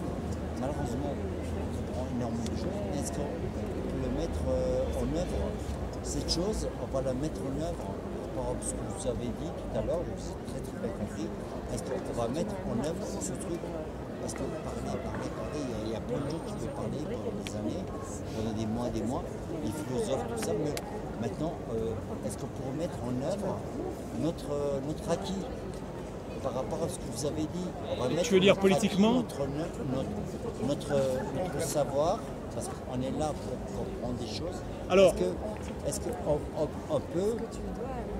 Parce qu'on a compris, tout le monde a compris euh, certaines. euh, on va le mettre. On va, la- on va, on va acquérir ce truc. Parce que c'est riche. Ce que vous avez dit, c'est très riche. Alors, ta question me paraît, ta question me paraît très générale. J'y perçois un élément de critique. J'y perçois un élément de critique euh, sur le fait que, euh, que c'est du blabla là et que la pratique intéresse. Donc, pour aller dans ton sens, si je t'ai bien compris, je te prie de garder ta question pour après pour me la reposer et j'essaye d'aller jusqu'au bout. Sinon, vraiment, je vais vous noyer dans une impression de blabla. Alors que si j'arrive à aller au bout de mon truc, je peux peut-être, j'ai une petite chance d'arriver à vous convaincre que. Ça veut dire qu'on répond pas aux questions directement. Pardon? Ça veut dire qu'on répond pas aux questions directement. Eh, pas toujours. Donc on fait de la politique. Euh... Bah, si. On pose une question, on répond pas, c'est de la politique. C'est un exposé. Non, le but du jeu, c'est qu'ils essaient de faire un exposé. Je sais pas, j'arrive au milieu, je m'excuse. hein. Mais en fait, J'arrive au milieu et je Il suis a pas pas du tout habitué à il ça. va expliquer. Il faut aller au but de tout le monde. Non, alors, en fait, il y, a il y a les questions, quand, je peux, quand j'arrive à répondre, je réponds. Quand j'arrive pas, je botte en touche parce que j'essaye Ça, je me d'avancer. doute, c'est normal. C'est humain. C'est humain. Et par ailleurs, Ryan, je le connais un peu et je sais qu'il pose des questions terribles et que si, si j'essaye de lui répondre... euh, Pourquoi Il euh, faut le dire le Le terme. monde, il est intéressant. Non, non, terrible, j'ai pas dit au sens de mauvais, mais au sens de questions qui, qui exigent des réponses très compliquées. Pardon. J'ai pas, j'ai pas dit méchant. Intervention, après tu peux reprendre, c'est super. Non, non, juste, en fait, euh, là, l'atelier qu'il y a là, c'est que le thème c'est Bernard Stiegler Et Alessio bah, fait une présentation de Bernard Ah, Stiegler. donc c'est un sujet bien précis. Exactement. C'est pour ça. Ok. Il fait une présentation et après Mais à on coup de en- pas, Par j'ai rien respect, dit. on le laisse parler. Pas de problème. Oh. Monsieur, Je connais pas le monsieur, mais c'est un sujet précis, donc j'ai rien dit. Allez, pas de problème. vous exprimer Alors le sujet c'est comment Stigler permet de repenser le capitalisme connais pas aujourd'hui. Non. Non mais les, les- bon. les gens ici le connaissent pas non C'est plus, mais j'essaye de. C'est nous, Eh, mettez-vous d'accord. Hein. c'est nous. Mais qui c'est ce monsieur quand même Il est très C'est un philosophe français. Présentation quand même. Je l'ai fait avant que vous arriviez. Asseyez-vous, asseyez-vous. Ah ben ouais, mais j'arrive en retard, excusez-moi. C'était pas prévu, je m'arrête. C'est pas grave. Non mais si, je vous fais chier là. Non non non Parce que non j'arrête non. la conversation. Non non non, c'est moi qui c'est moi qui me perds dans, c'est moi qui me perds dans mes notes. Soyez honnête. Vous pouvez vous asseoir et. Soyez honnête. Ah mais c'est ce que je fais. Mais comme j'ai raté le début, je comprends pas. Alors par contre il faut s'asseoir et si, si- ceux qui veulent parler doivent obligé lever la de main. s'asseoir Non mais par contre pour parler il faut lever la main d'abord. Ouais, il, a des, il, a, il a des règles, Renzo, comme les femmes, la règle. Ok, C'est seule pour toi aussi. Il y a toujours des règles. C'est Ce des qu'on règles. il faut toujours des règles. Même les femmes lèvent la main. Ouais.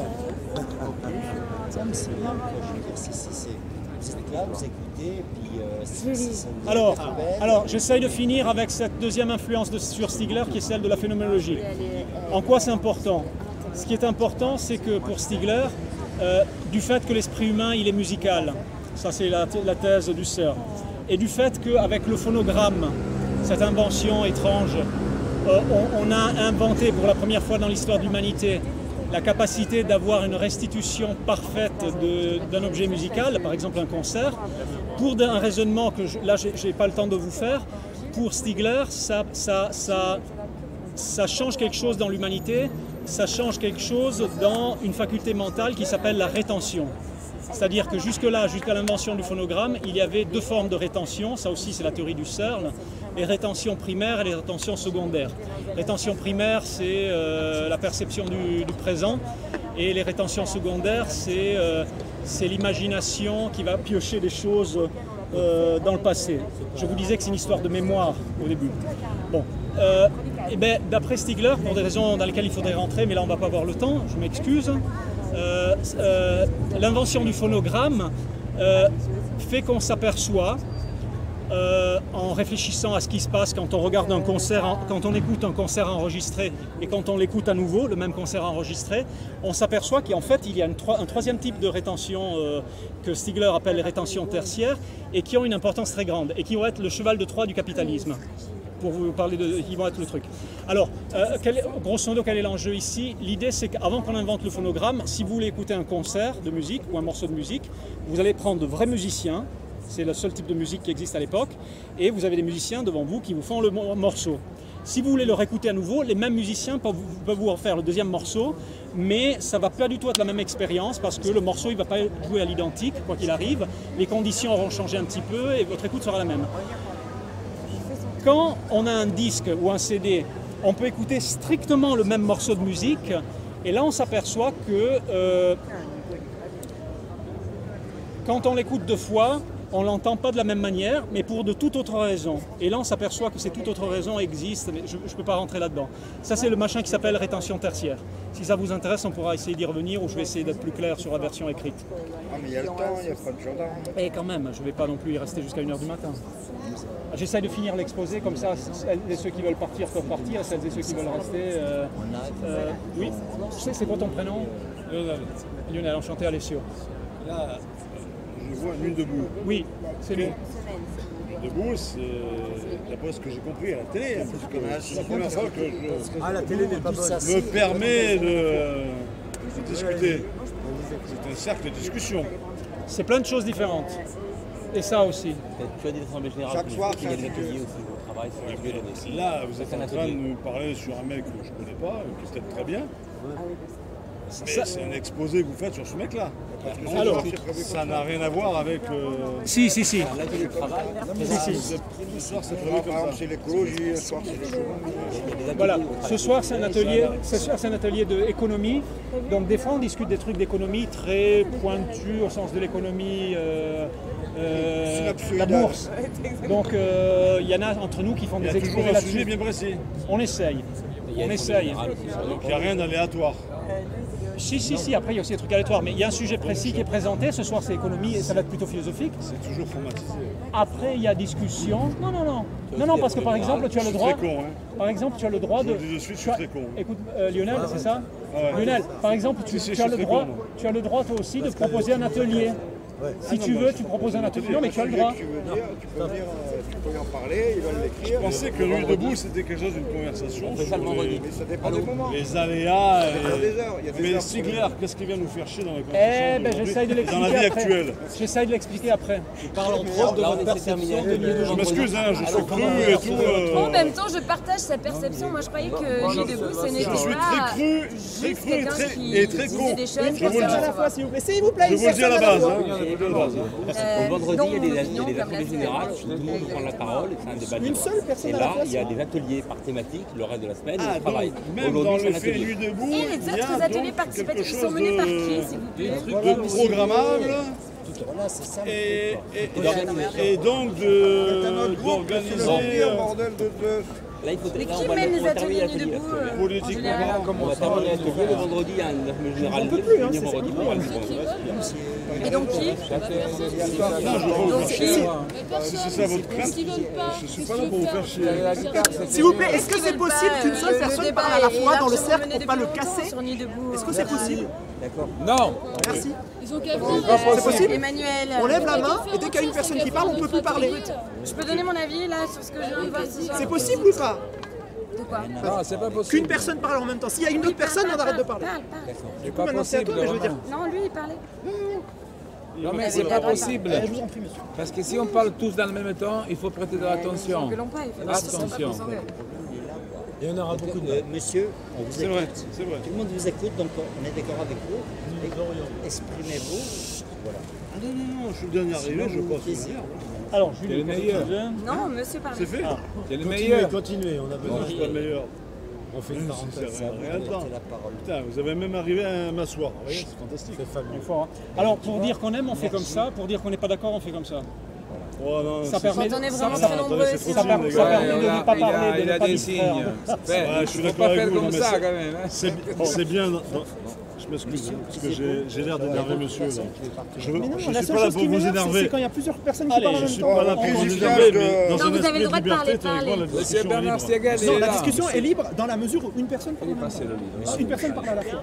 Monsieur, taisez-vous. Il Le principe est très simple. Il, y a, il y a une organisation à debout. Là, le vendredi, il y a des assemblées générales, tout le monde peut à tour de rôle prendre la parole, débat libre, ce qu'on veut. Et il y a des organisations avec des soirées thématiques. Là, c'est un atelier thématique. Alessio nous présente la vision d'un philosophe sur le capitalisme. Après, on peut en discuter, il termine son exposé.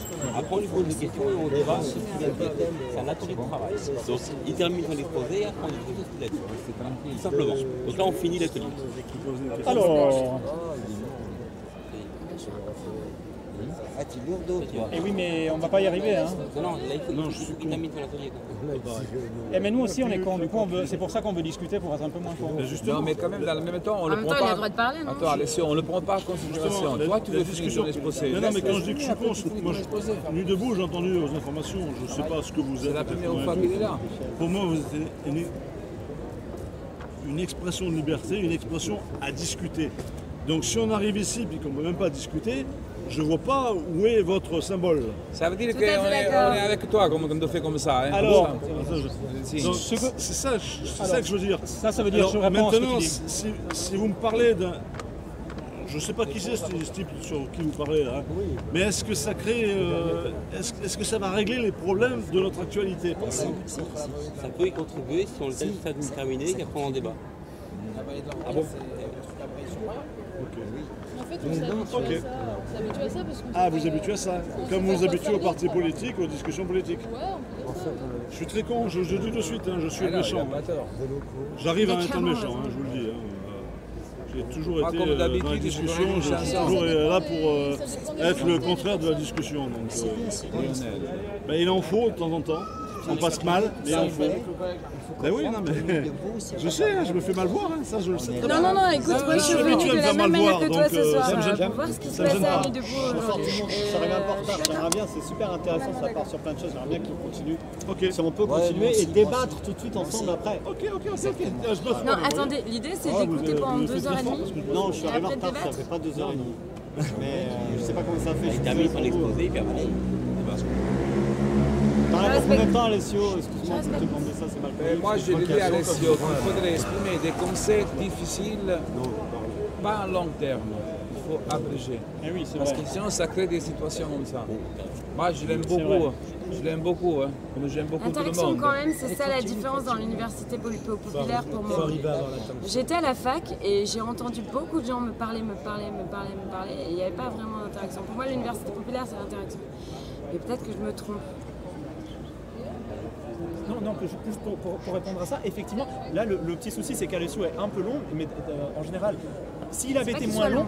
si, si, je pense Parce qu'il a besoin de développer son, son, son truc. Oui, mais il peut contre, pas à la fois développer et qu'on parle en même Ce temps. qui est souvent toujours que les mêmes personnes qui parlent. C'est pas toujours les mêmes on personnes qui parlent. le- Il y a plein de fois où où- il y a une une personne qui présente pendant 10-15-20 minutes et après, par contre, c'est c'est que, que des interactions. Très bien. Alors, Cette fois-ci, c'est un intervenant qui parle un peu plus. En même temps, l'interaction de monsieur qui vient et qui essaye de à savoir fait, ce qui se passe, comme moi, qui suis pas venue depuis longtemps et qui vient et qui me dit mais qu'est-ce qui se passe? Surtout que c'est la Je première fois pense que je viens. que ça peut être entendu. Et probablement la dernière.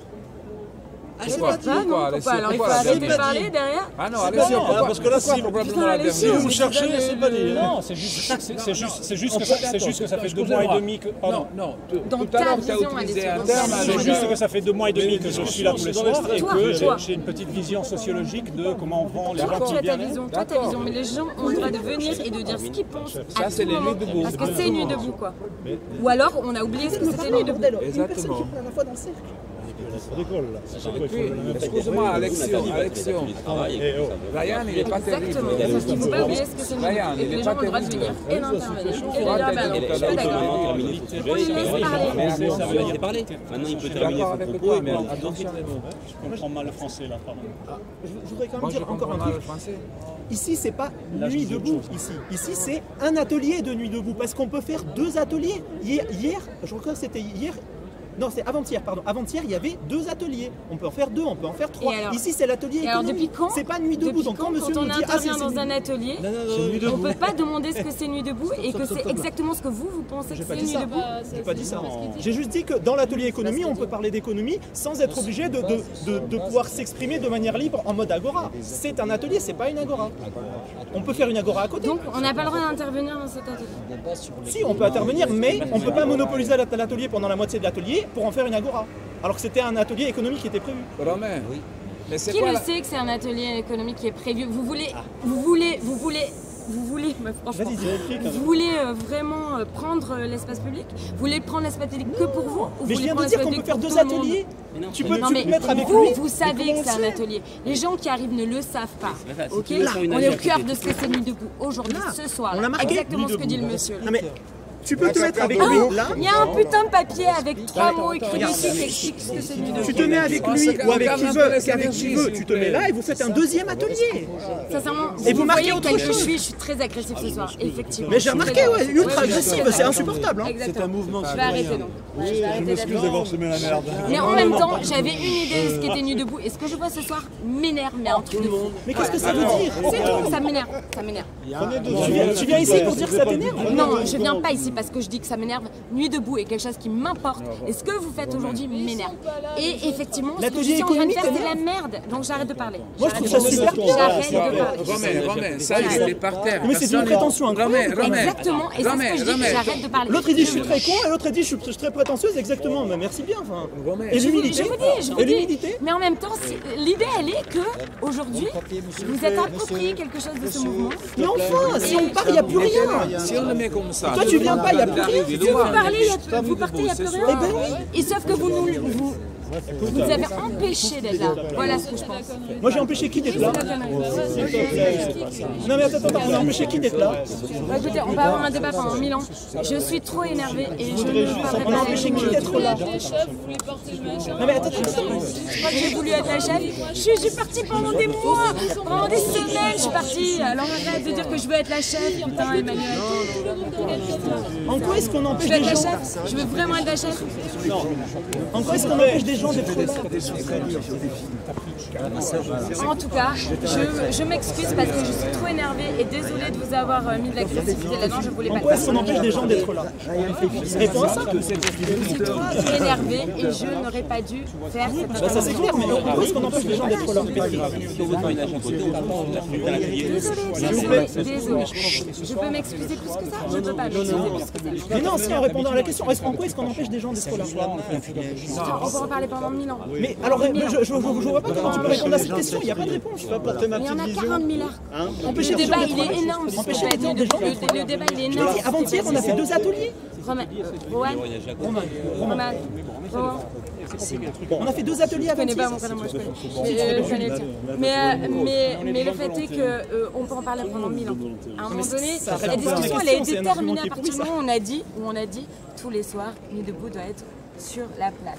Et les gens qui ne sont plus sur la place ne pensent plus Nuit debout. Et ça, si, à si, ce si, moment-là, pourquoi on pas a cassé quelque chose Non, non, ils debout. peuvent faire nuit debout, pourquoi pas Ils peuvent faire nuit debout. Mais c'est pas vrai. Aujourd'hui, faites ce que vous voulez de Nuit debout, ce qui ne me correspond pas. Ok Mais, mais tu peux faire un Quand truc chez viens et toi. que j'essaye de dire ce que j'en pense, forcément je suis en colère. Mais Mais- je suis mais en qui t'empêche de faire quelque Et chose j'ai tort de le penser comme ça. Ok. Non, mais je vais juste te dire un petit truc. non, je s'il ne vous plaît. t'attaque pas, je n'attaque personne ici. Je veux juste te dire quelque chose qui est hyper important pour moi. C'est bon, tu l'as dit. Très important. Tu l'as la dit. parole à l'heure. S'il te plaît. Moi, je veux simplement vous dire un truc. C'est vrai qu'à l'époque, de nos débuts tenus debout, même dans les deux premiers mois, il y avait toujours des ateliers, toujours des gens autour, et toujours forcément quelqu'un qui n'était pas forcément dans l'énergie de rentrer dans un truc, s'asseoir et euh, de avoir l'impression de faire lobotomiser le, le, le- le cerveau par une étude d'un mec qui connaît pas, enfin, ce que j'ai entendu ce soir.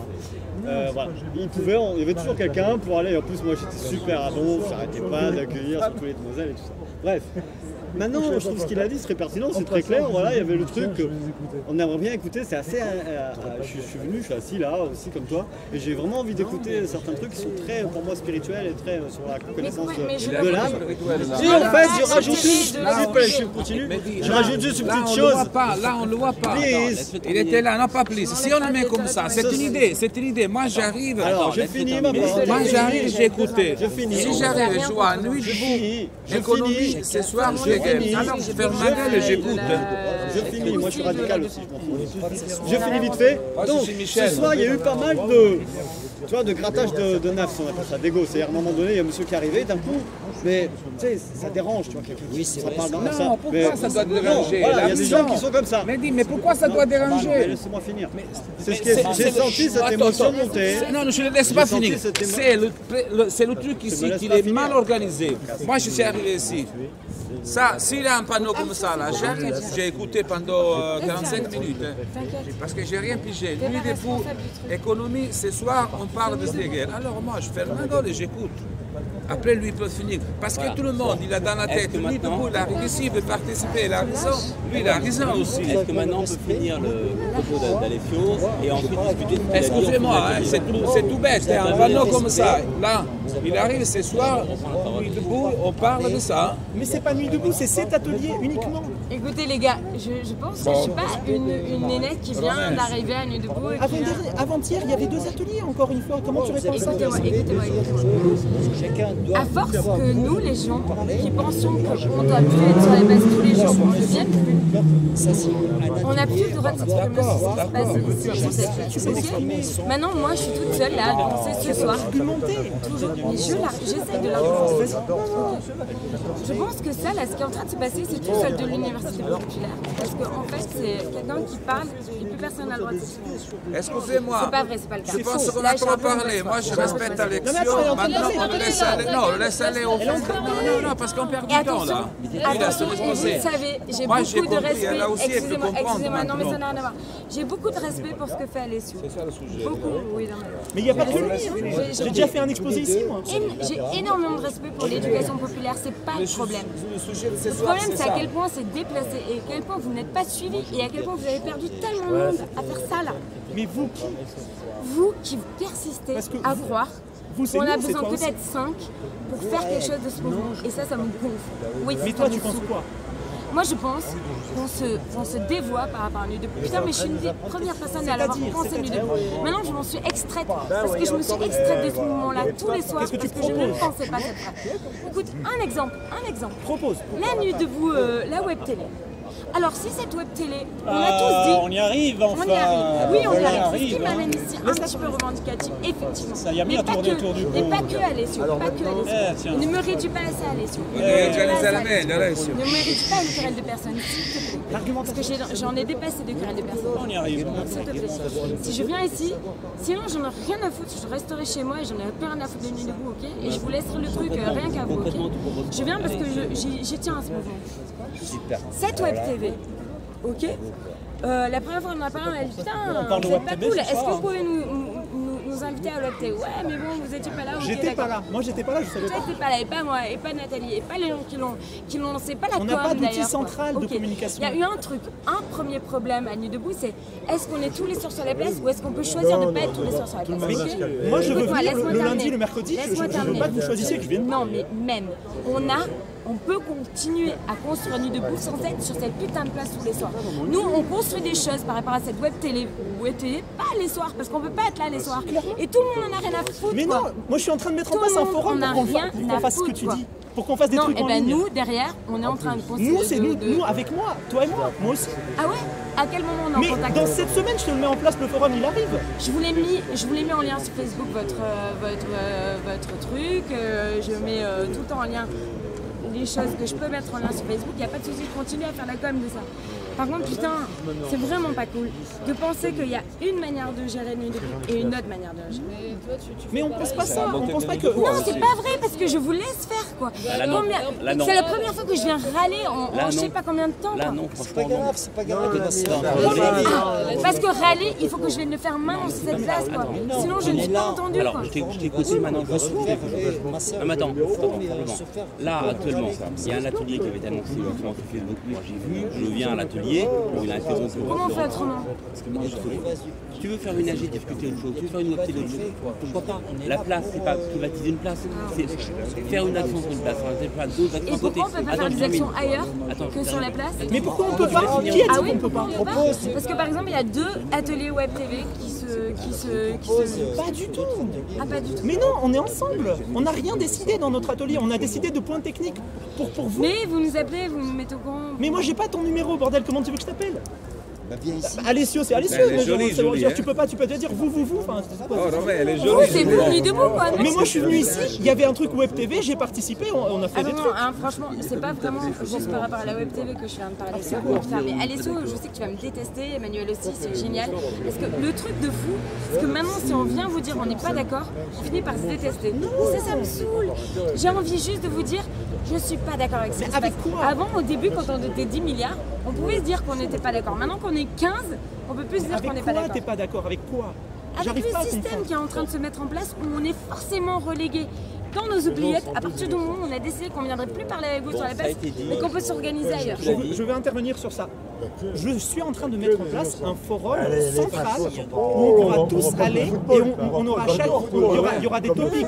Pourquoi les gens le savent Mais pour l'instant, il n'est pas mis, mis- mis en place, mais il va bientôt l'être. Et, et- et- Mais les gars, vous Si compte tout le monde que est vous êtes que dessus. 10 à être contre ça et les- tous les autres, tous les autres qui vous ont lâché. Mais t'as entendu ce que tous autres- Oui, je l'ai entendu, Rowan. Ça Et, tous et- sens. et- et je l'ai suivi parce que je fais partie de Facebook et que je suis tout ça et que je fais, j'essaye de faire c'est pour donner du poids aux gens qui ne peuvent pas venir sur la place. Je suis en train de mettre en place un truc pour que en ligne il y ait des choses qui se Non mais rendez-vous compte d'un truc, vous vous avez perdu énormément de Mais vous qui, Ne dites pas, vous dites pas que c'est faute des gens.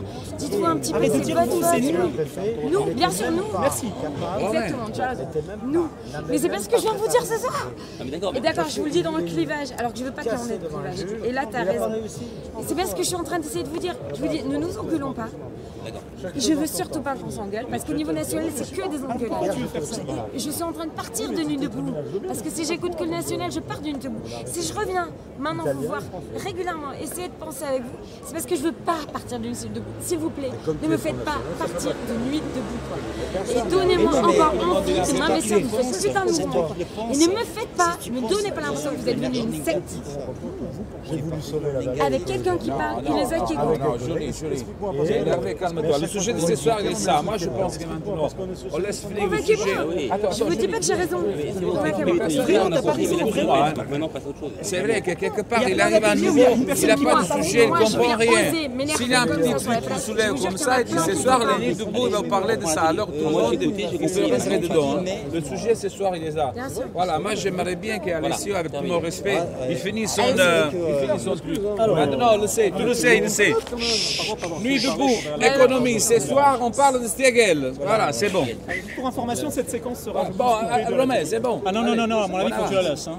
Allez, euh, termine, termine. Ah non, non, à mon avis, tu la laisses. Après, après, après le côté chiant, vous tapez. savez pas partie de Nuit debout Non, pas de nuit debout, non, non, c'est de l'atelier. Non, non, non, non, ça ça, ça.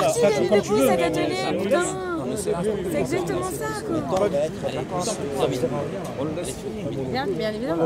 Moi, ce que je veux dire, c'est que ça reste dans l'enregistrement. Voilà, maintenant, quel enregistrement On le sait que maintenant, c'est était d'avoir été blanche. sujet de ce soir, c'est M. Stieger. S'il te plaît, si tu parles, il faudrait que tu ailles ailleurs parce que moi, Euh, je peux exposer si tu reviens, je comprends rien. Attends, Hugo, il s'appelle comment le monsieur? Lionel. J'apprécie beaucoup. Non, non, le, sujet de ce soir, c'est M. Stegel. C'était une femme, un philosophe, un homme comme nous. Hein. Et, et, et M. Alessio, gentiment, il nous explique. Je continue à dire que j'ai énormément de respect pour ce que fait Alessio. Ça y est, on continue. Amen. Non, mais ça n'a rien à voir. Alors, nous disions donc que euh, Stigler, on essaye de voir quelles sont les influences euh, que subit Stigler, enfin que qui, qui- qui- qui font la philosophie de Stigler pour après arriver à comprendre comment. Hugo, s'il te plaît, tu peux, euh, Hugo, on parler parle de M. Stegel, là. C'est pas la douane. Hein. Et donc, on essaye de voir les, penseurs qui l'ont influencé pour arriver à comprendre comment se constitue sa, comment, euh, quelle est sa pensée, euh, quelles sont les facettes de sa pensée et comment ces facettes, vont euh, déterminer sa compréhension du capitalisme et ce qu'il peut nous apprendre sur le capitalisme contemporain. Et ben, euh, on en est encore à l'influence de la phénoménologie. Bon, euh, voilà. Donc euh, la, conscience humaine, en, plus d'être euh, prothétique et transductive, elle est, elle est de l'ordre de, l'écoulement. Or, parmi les, les- les- les- découvertes technologiques qui ont eu lieu, il y en a une qui a l'air de rien, d'après Stigler, je vous l'ai dit, c'est le phonographe, qui a, d'après lui, euh, une importance très grande parce que le phonographe, comme je le disais, euh, pour des raisons que je ne vous explique pas bien ici, engendre ou permet de s'apercevoir qu'il existe un troisième type de rétention. Donc les rétentions sont dans l'école phénoménologique de- des manières que euh, l'esprit a de gérer la perception du temps. Donc c'est très important vu que l'esprit il est temporel. Et euh, il y a pour l'essentiel une rétention primaire et une rétention secondaire. La rétention primaire c'est c'est un peu l'intuition du présent, il faudrait expliquer pourquoi. La rétention secondaire c'est euh, la faculté que nous avons d'aller chercher, non, euh, de chercher euh, des choses dans notre mémoire. Et, on s'aperçoit d'un coup, grâce à ce truc, qu'il existe des rétentions tertiaires et que ces rétentions tertiaires peuvent s'incarner dans des objets technologiques. Ça, je ne vous l'explique pas bien. Quel est l'enjeu? L'enjeu, c'est que les rétentions primaires et secondaires interagissent entre elles. C'est-à-dire que si vous, vous percevez quelque chose, ça va vous rappeler quelque chose dans votre mémoire. Et la manière que vous allez avoir de chercher à retrouver des choses dans votre mémoire peut être déterminée par des tas de choses. Par exemple, parce que les psychanalystes appellent des complexes. Euh, donc toutes ces choses-là interagissent. Euh, euh, les rétentions tertiaires, la- non, non, non, excuse-moi. Les rétentions tertiaires ont, un effet sur. euh, les rétentions tertiaires sont, sont importantes parce qu'elles peuvent troubler ce jeu-là, qui était le jeu humain habituel. Et c'est ça que va utiliser le capitalisme. Le capitalisme, pour vendre des produits, va s'engouffrer euh, dans la production de rétention tertiaire pour manipuler l'esprit humain. Et, euh, ça, c'est très problématique. Là, je, vais en avance sur le truc. Euh, donc, tout ça je l'ai dit. Alors, il me reste deux héritages théoriques à, à vous, à partager avec vous. Et le premier, c'est Freud. J'ai un peu avancé là, je vais essayer d'aller vite. Et le deuxième, ça va être Marx.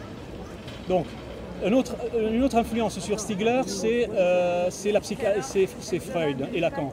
Et euh, donc la psychanalyse. La psychanalyse qu'on peut définir, vous me dites si je vais trop vite, comme l'étude de l'inconscient, euh, le mental, par la méthode d'association libre liée à la voix humaine.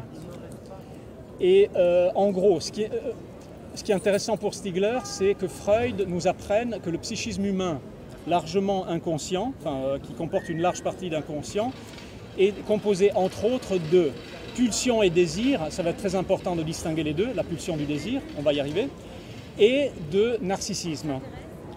Alors, le narcissisme, pour Freud, il y a le primaire et le secondaire. Le narcissisme primaire, c'est euh, l'amour que l'enfant se porte à lui-même. C'est un peu le nombrilisme de l'enfant. Et le, le- le narcissisme secondaire, c'est euh, euh, ce qu'on appelle narcissisme au niveau de l'adulte, euh, qui, est, une autre chose. Euh, qui peut donner pathologiquement ce qu'on appelle les pervers narcissiques, qui est une catégorie psychiatrique, pas seulement psychanalytique. Bon, Stigler avance en s'appuyant sur ce qu'on a vu un peu avec Simon Don, qu'il existe en fait, et c'est important pour comprendre la socialité humaine, une autre forme de narcissisme que lui, Stigler, propose d'appeler le narcissisme primordial, et qui est euh, alors, pardon, le narcissisme, c'est, dans psychanalyse, c'est un truc qui peut être négatif, mais qui est largement positif. C'est-à-dire un être humain qui, qui a un narcissisme qui ne marche pas se suicide. C'est un être humain qui est en détresse profonde et qui. Il faut du narcissisme pour arriver à vivre, du point de vue de la psychanalyse. Après, le narcissisme, il est très glissant et compliqué, ça peut donner des, embûches. Et euh, ce qu'on appelle les pervers narcissiques sont, du point de vue de la psychiatrie aussi bien que de la psychanalyse, euh, des êtres humains très peu potables et fréquentables.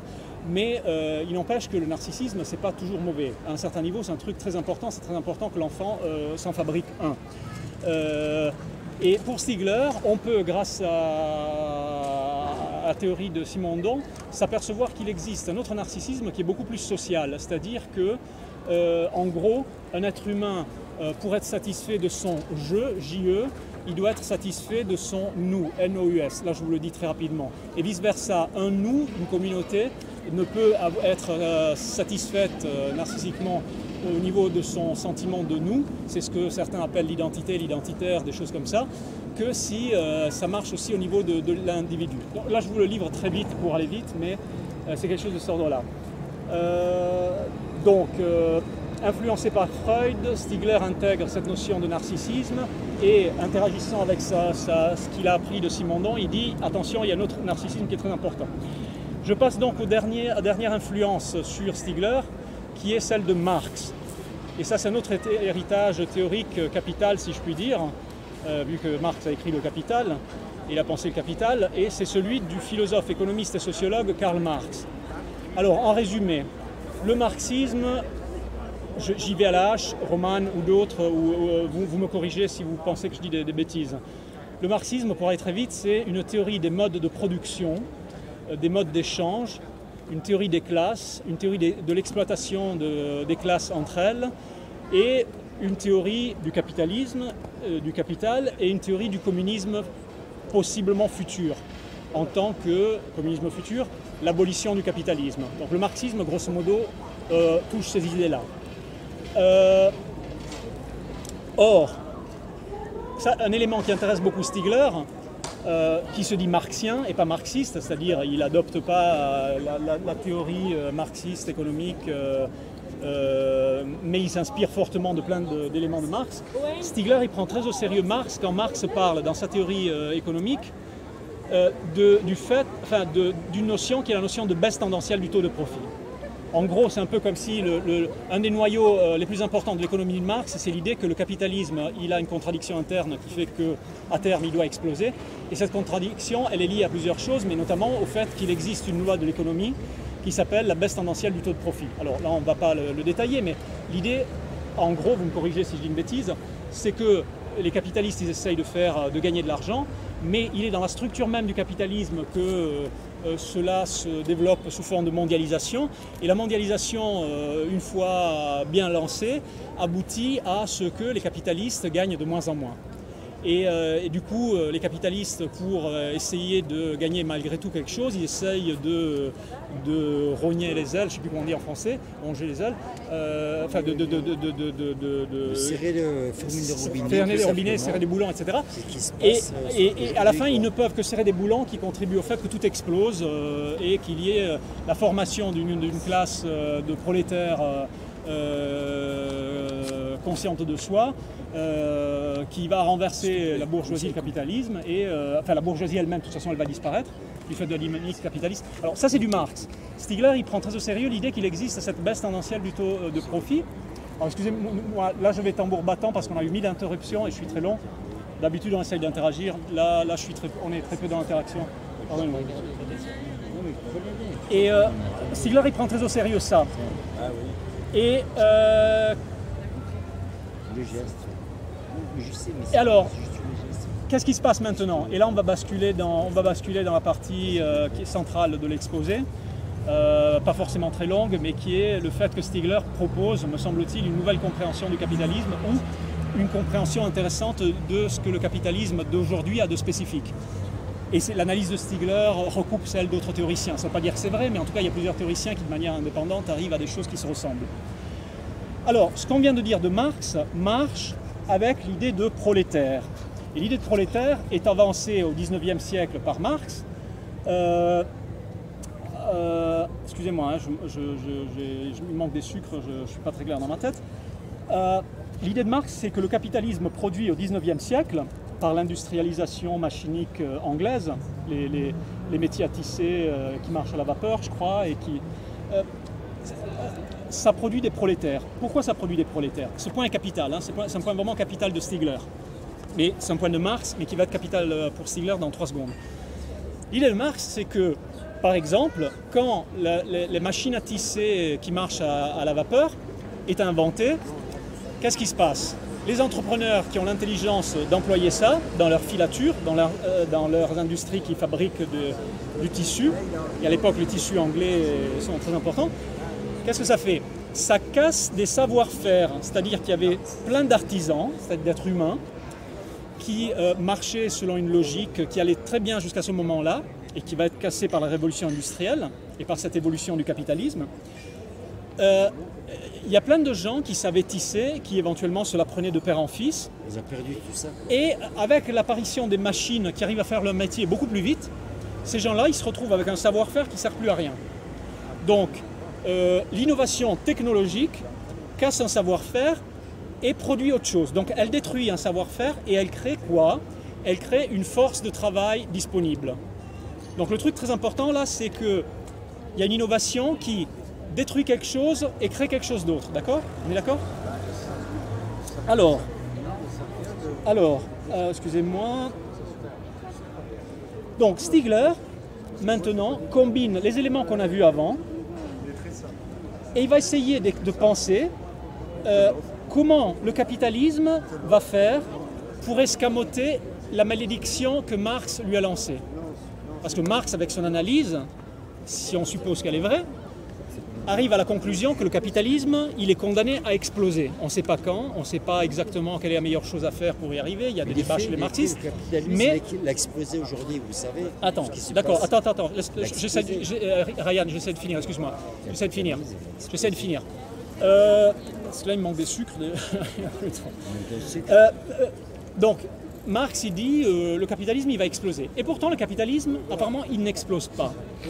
Alors pourquoi, en tout cas, jusqu'à présent, il n'explose pas? Euh, Stigler, il dit, en tout cas, ce que disent d'autres penseurs, que euh, le capitalisme, il fait une fuite en avant. C'est-à-dire que les capitalistes, ils ont lu Marx, euh, la culture marxienne a été dominante à une certaine époque, les années, jusqu'à les années 60, et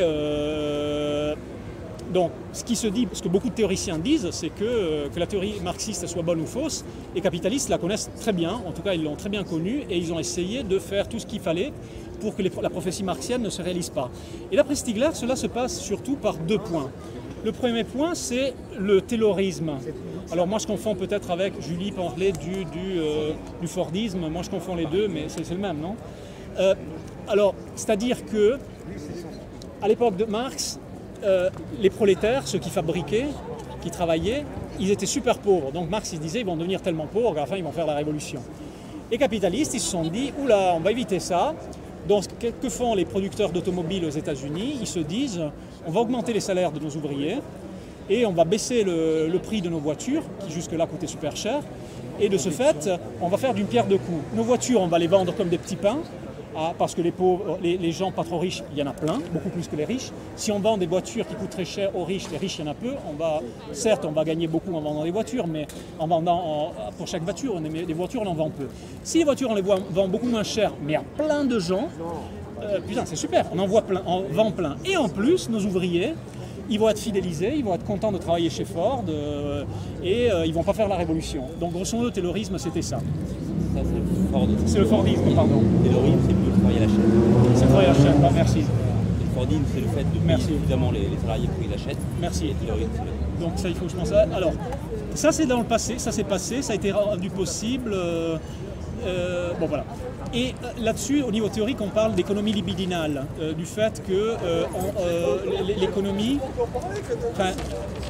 elle s'est transformée, si je dis pas de bêtises, pour capter le désir des consommateurs. C'est un truc qui est nouveau, ça, par rapport au qui n'existait pas forcément au temps de Marx. Au temps de Marx, il y avait une concurrence féroce, mais on pensait plutôt à des biens qui étaient des biens nécessaires. La nouveauté, quand on décide stratégiquement de mieux payer, d'arrêter de, rendre pauvres les, prolétaires, euh, on se dit qu'il y a tout un pan nouveau à explorer, c'est d'engendrer le désir. Ça, ça a été étudié par Marcuse, Lyotard et je ne sais pas qui d'autre. Le deuxième point, développé par Stigler, enfin le deuxième point que pointe Stigler, c'est un machin qui a été étudié par d'autres que Stigler et qui s'appelle le capitalisme cognitif. Il y a des auteurs qui disent que de nos jours, on est dans une troisième forme de capitalisme, après le capitalisme mercantile, euh, de l'échange, le capitalisme industriel. On est dans un capitalisme là que certains appellent euh, de l'information et que d'autres appellent cognitif. Alors ceux qui appellent cognitif, comme euh, Yann Moulier-Boutang, qui est celui qui est dans la revue Multitude, eux ils soulignent que ça n'a rien à voir avec le capitalisme de l'information, qu'il faut distinguer les deux, etc. Bon, on ne va pas rentrer là-dedans. Mais donc, on essaie de finir sur Stigler. L'idée de Stigler, c'est que le Fordisme, ça s'est passé, ça donnait les 30 glorieuses, ça donnait, je crois, des différentes choses. Mais le capitalisme cognitif actuel, il est en train de se faire, il n'est pas forcément clairement perçu par tout le monde, et euh, il, euh, il utilise les rétentions tertiaires de tout à l'heure. Et il va zinguer des choses de Simondon et euh, il va toucher des choses touchées- dites par Freud. Bon voilà. Enfin, alors, je vais essayer de lire. Euh, donc le capitalisme cognitif actuel, euh, d'après Stigler, merci, il existe. Et il est rendu possible, entre autres, par la révolution numérique générale, qui est une, un pas supplémentaire au niveau technologique par rapport à, l'analogique. L'analogique, c'est quand on a une technique qui reproduit une chose en ayant la même forme. Le, numérique, ça brise complètement ça parce qu'on réduit tout à des 0 et des 1. Bon, il faudrait rentrer là-dedans, mais c'est euh, un changement.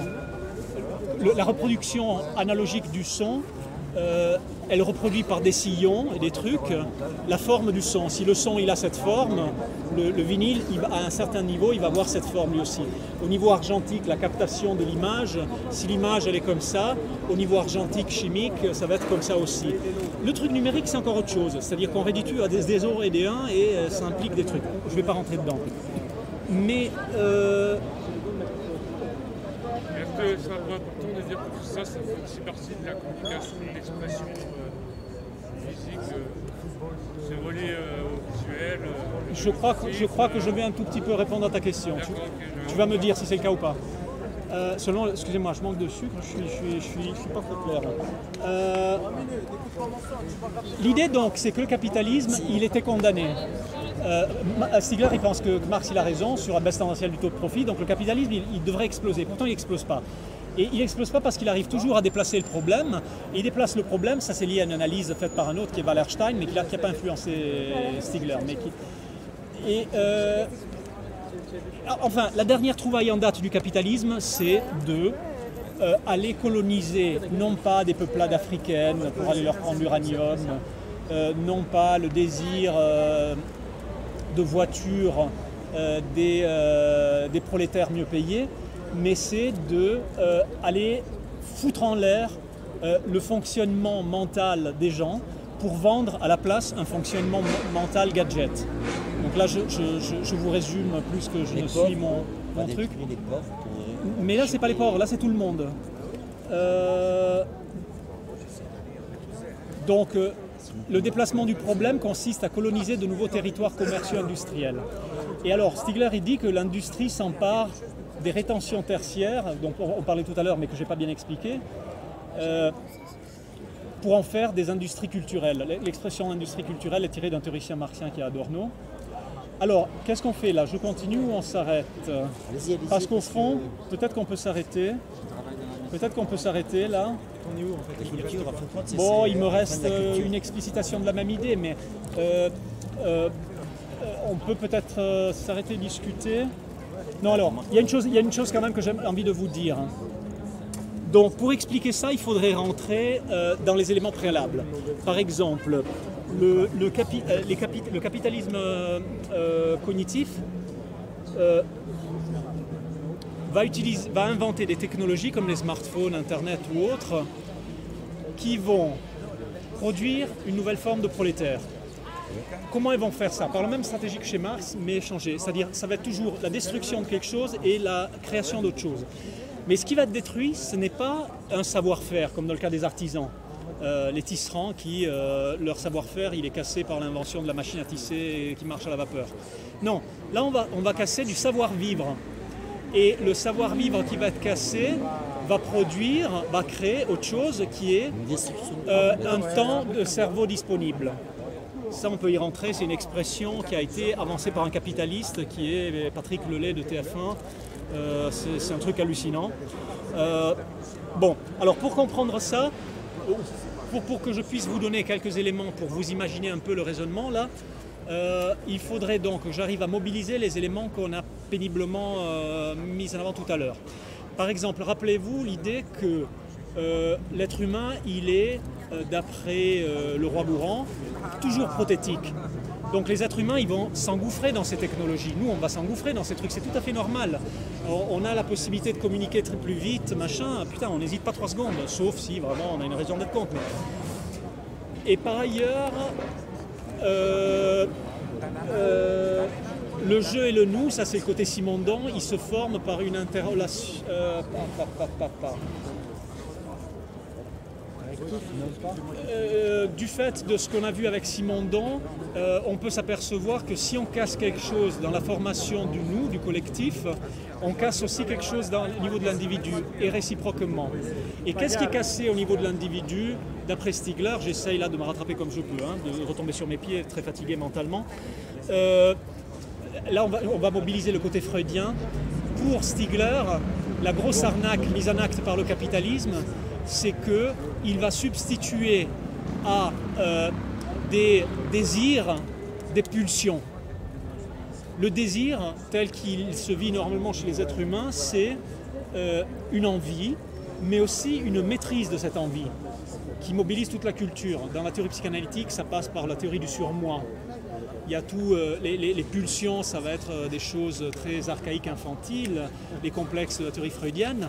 Mais après, le surmoi, euh, c'est-à-dire l'intériorisation des interdits sous la forme des figures parentales, qui peut aller du point de vue de Freud jusqu'à la religion. La religion, c'est une forme de surmoi. C'est quelque chose qui sert à fabriquer des interdits. L'interdit de l'inceste, qui est repris aussi par, par Lévi-Strauss en anthropologie. Bon, c'est-à-dire qu'il y a des tas de choses qu'on ne va pas faire, on va en faire d'autres en substitution. Le désir, c'est quelque chose qui est de cet ordre-là, du point de vue de Stigler. C'est-à-dire que c'est euh, une manière euh, d'arriver à satisfaire euh, ses envies, mais en étant raisonnable avec la réalité. Et ça implique que très souvent, on ne peut pas satisfaire nos envies tout de suite. L'élément gagnant de ce truc, qui a été sélectionné dans l'histoire de l'humanité par tout le développement des êtres humains, ça c'est le côté Simondon, euh, il y a toute une théorie des circuits. Euh, Le côté gagnant du, du désir, c'est que quand le désir il se vit pas trop mal dans une société assez équilibrée, c'est que euh, même quand on se prive de ce qu'on voudrait, on a une rétribution mentale. C'est-à-dire que si on est conscient du fait qu'on arrive à se maîtriser, par exemple, euh, j'arrive à ne pas trop bouffer, donc euh, je suis frustré parce que je suis gourmand, mais je suis content parce que je me dis je suis capable de me maîtriser, euh, etc. et, d'autre part, le jour où je vais m'autoriser à manger quelque chose, je vais y prendre d'autant plus de plaisir que je le fais au moment où je veux. Et ça, pareil pour tout, pour la sexualité, pour, euh, euh, pour euh, les divertissements. Pour... Donc le désir est très important dans ce côté de maîtrise. Eh bien, l'arnaque du capitalisme, c'est que le capitalisme, pour bien vendre, il va arriver à substituer au désir la pulsion. Et la pulsion, c'est un truc sauvage et destructeur. C'est-à-dire que la pulsion, quand elle arrive, on y obtempère tout de suite. Et ça fait des passages en acte euh, de tout ordre, que ce soit euh, des jeunes, de jeunes gens qui euh, ont envie d'un truc, ils le font. Ça peut être le viol.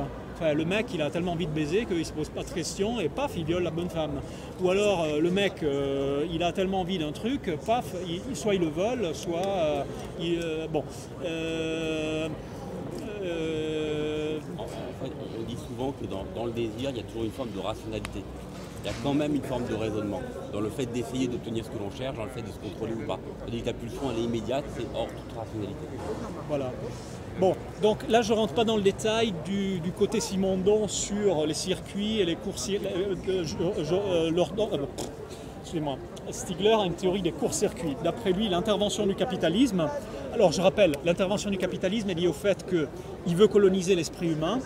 Et il a l'idée de coloniser l'esprit humain parce qu'il s'est aperçu qu'il y a des rétentions tertiaires. Grosso modo, il s'est aperçu qu'on peut faire des pubs. Et euh, en faisant des pubs, notamment avec des pubs vocales, on peut manipuler l'être humain et, euh, vendre des tas de choses.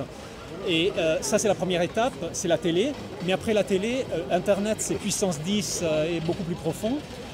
Et, voilà, ça, ça passe par cette nouvelle forme de prolétarisation théorisée par Stigler, qui est que on casse, on détruit un savoir-vivre, par exemple savoir gérer ses désirs, et euh, en cassant ça, on engendre du euh, temps de cerveau disponible ou, du pouvoir d'achat.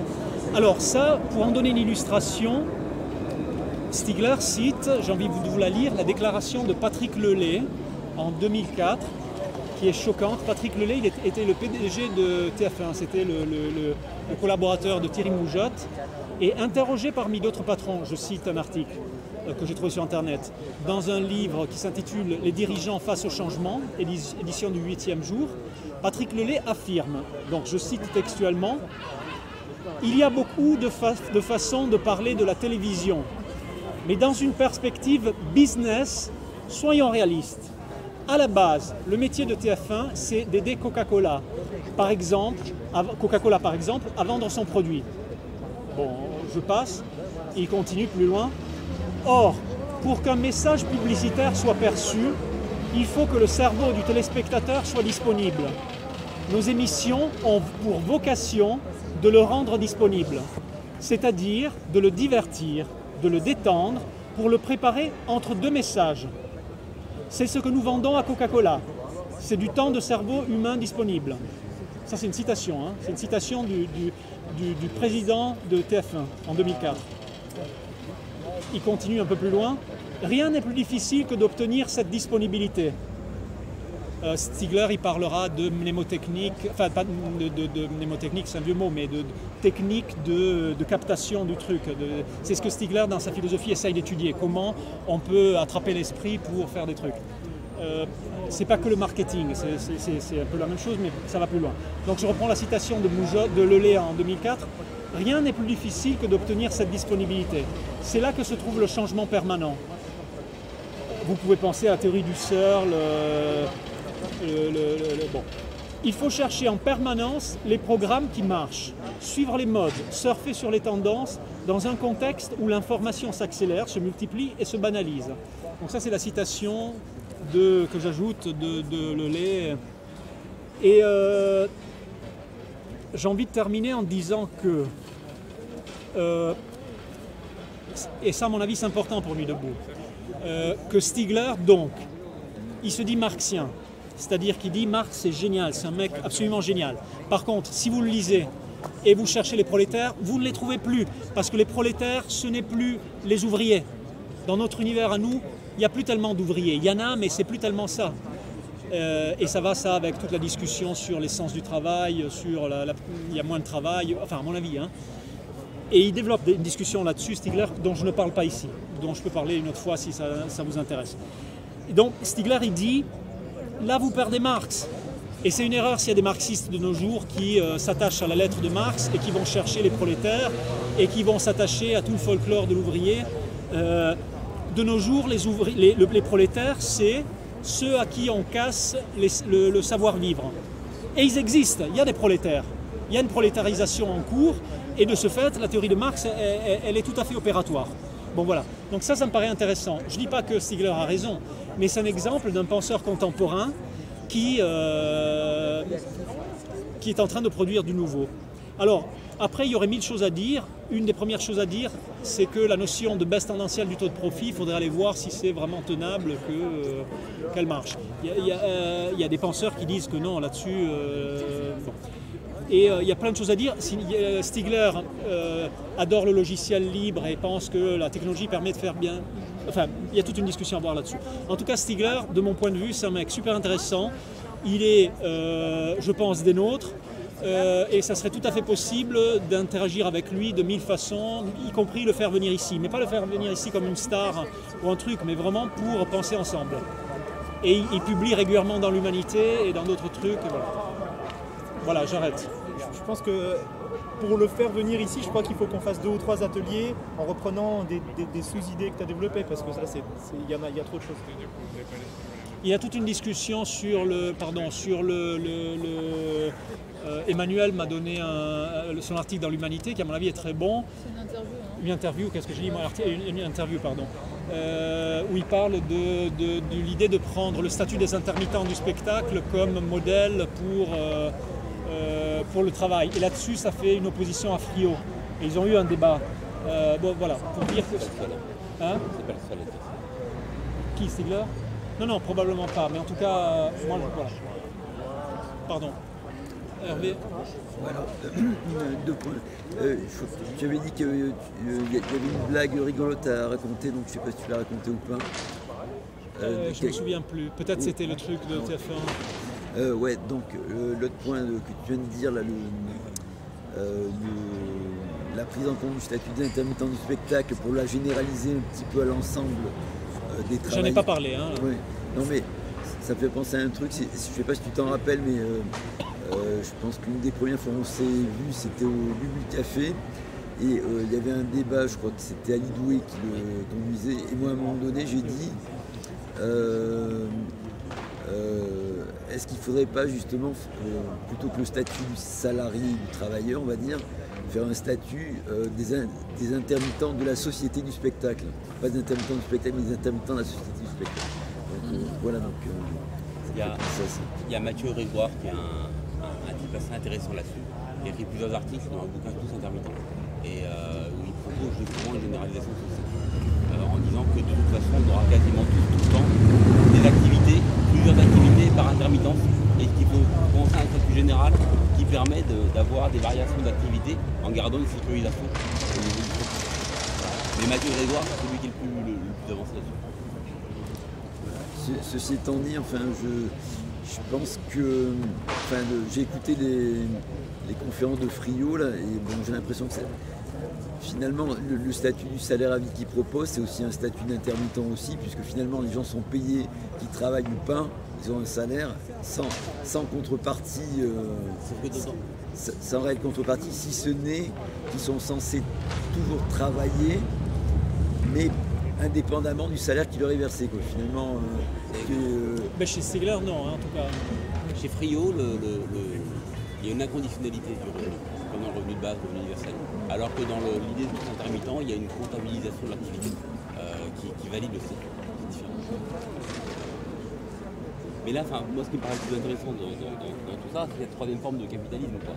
C'est, vraiment le, le fait d'attaquer sur le, le savoir-être, sur l'individu, euh, et, y compris sur les répercussions sur son être. Et, voilà. et c'est cette partie-là qu'il faudrait que tu puisses développer, c'est là que Moi, justement.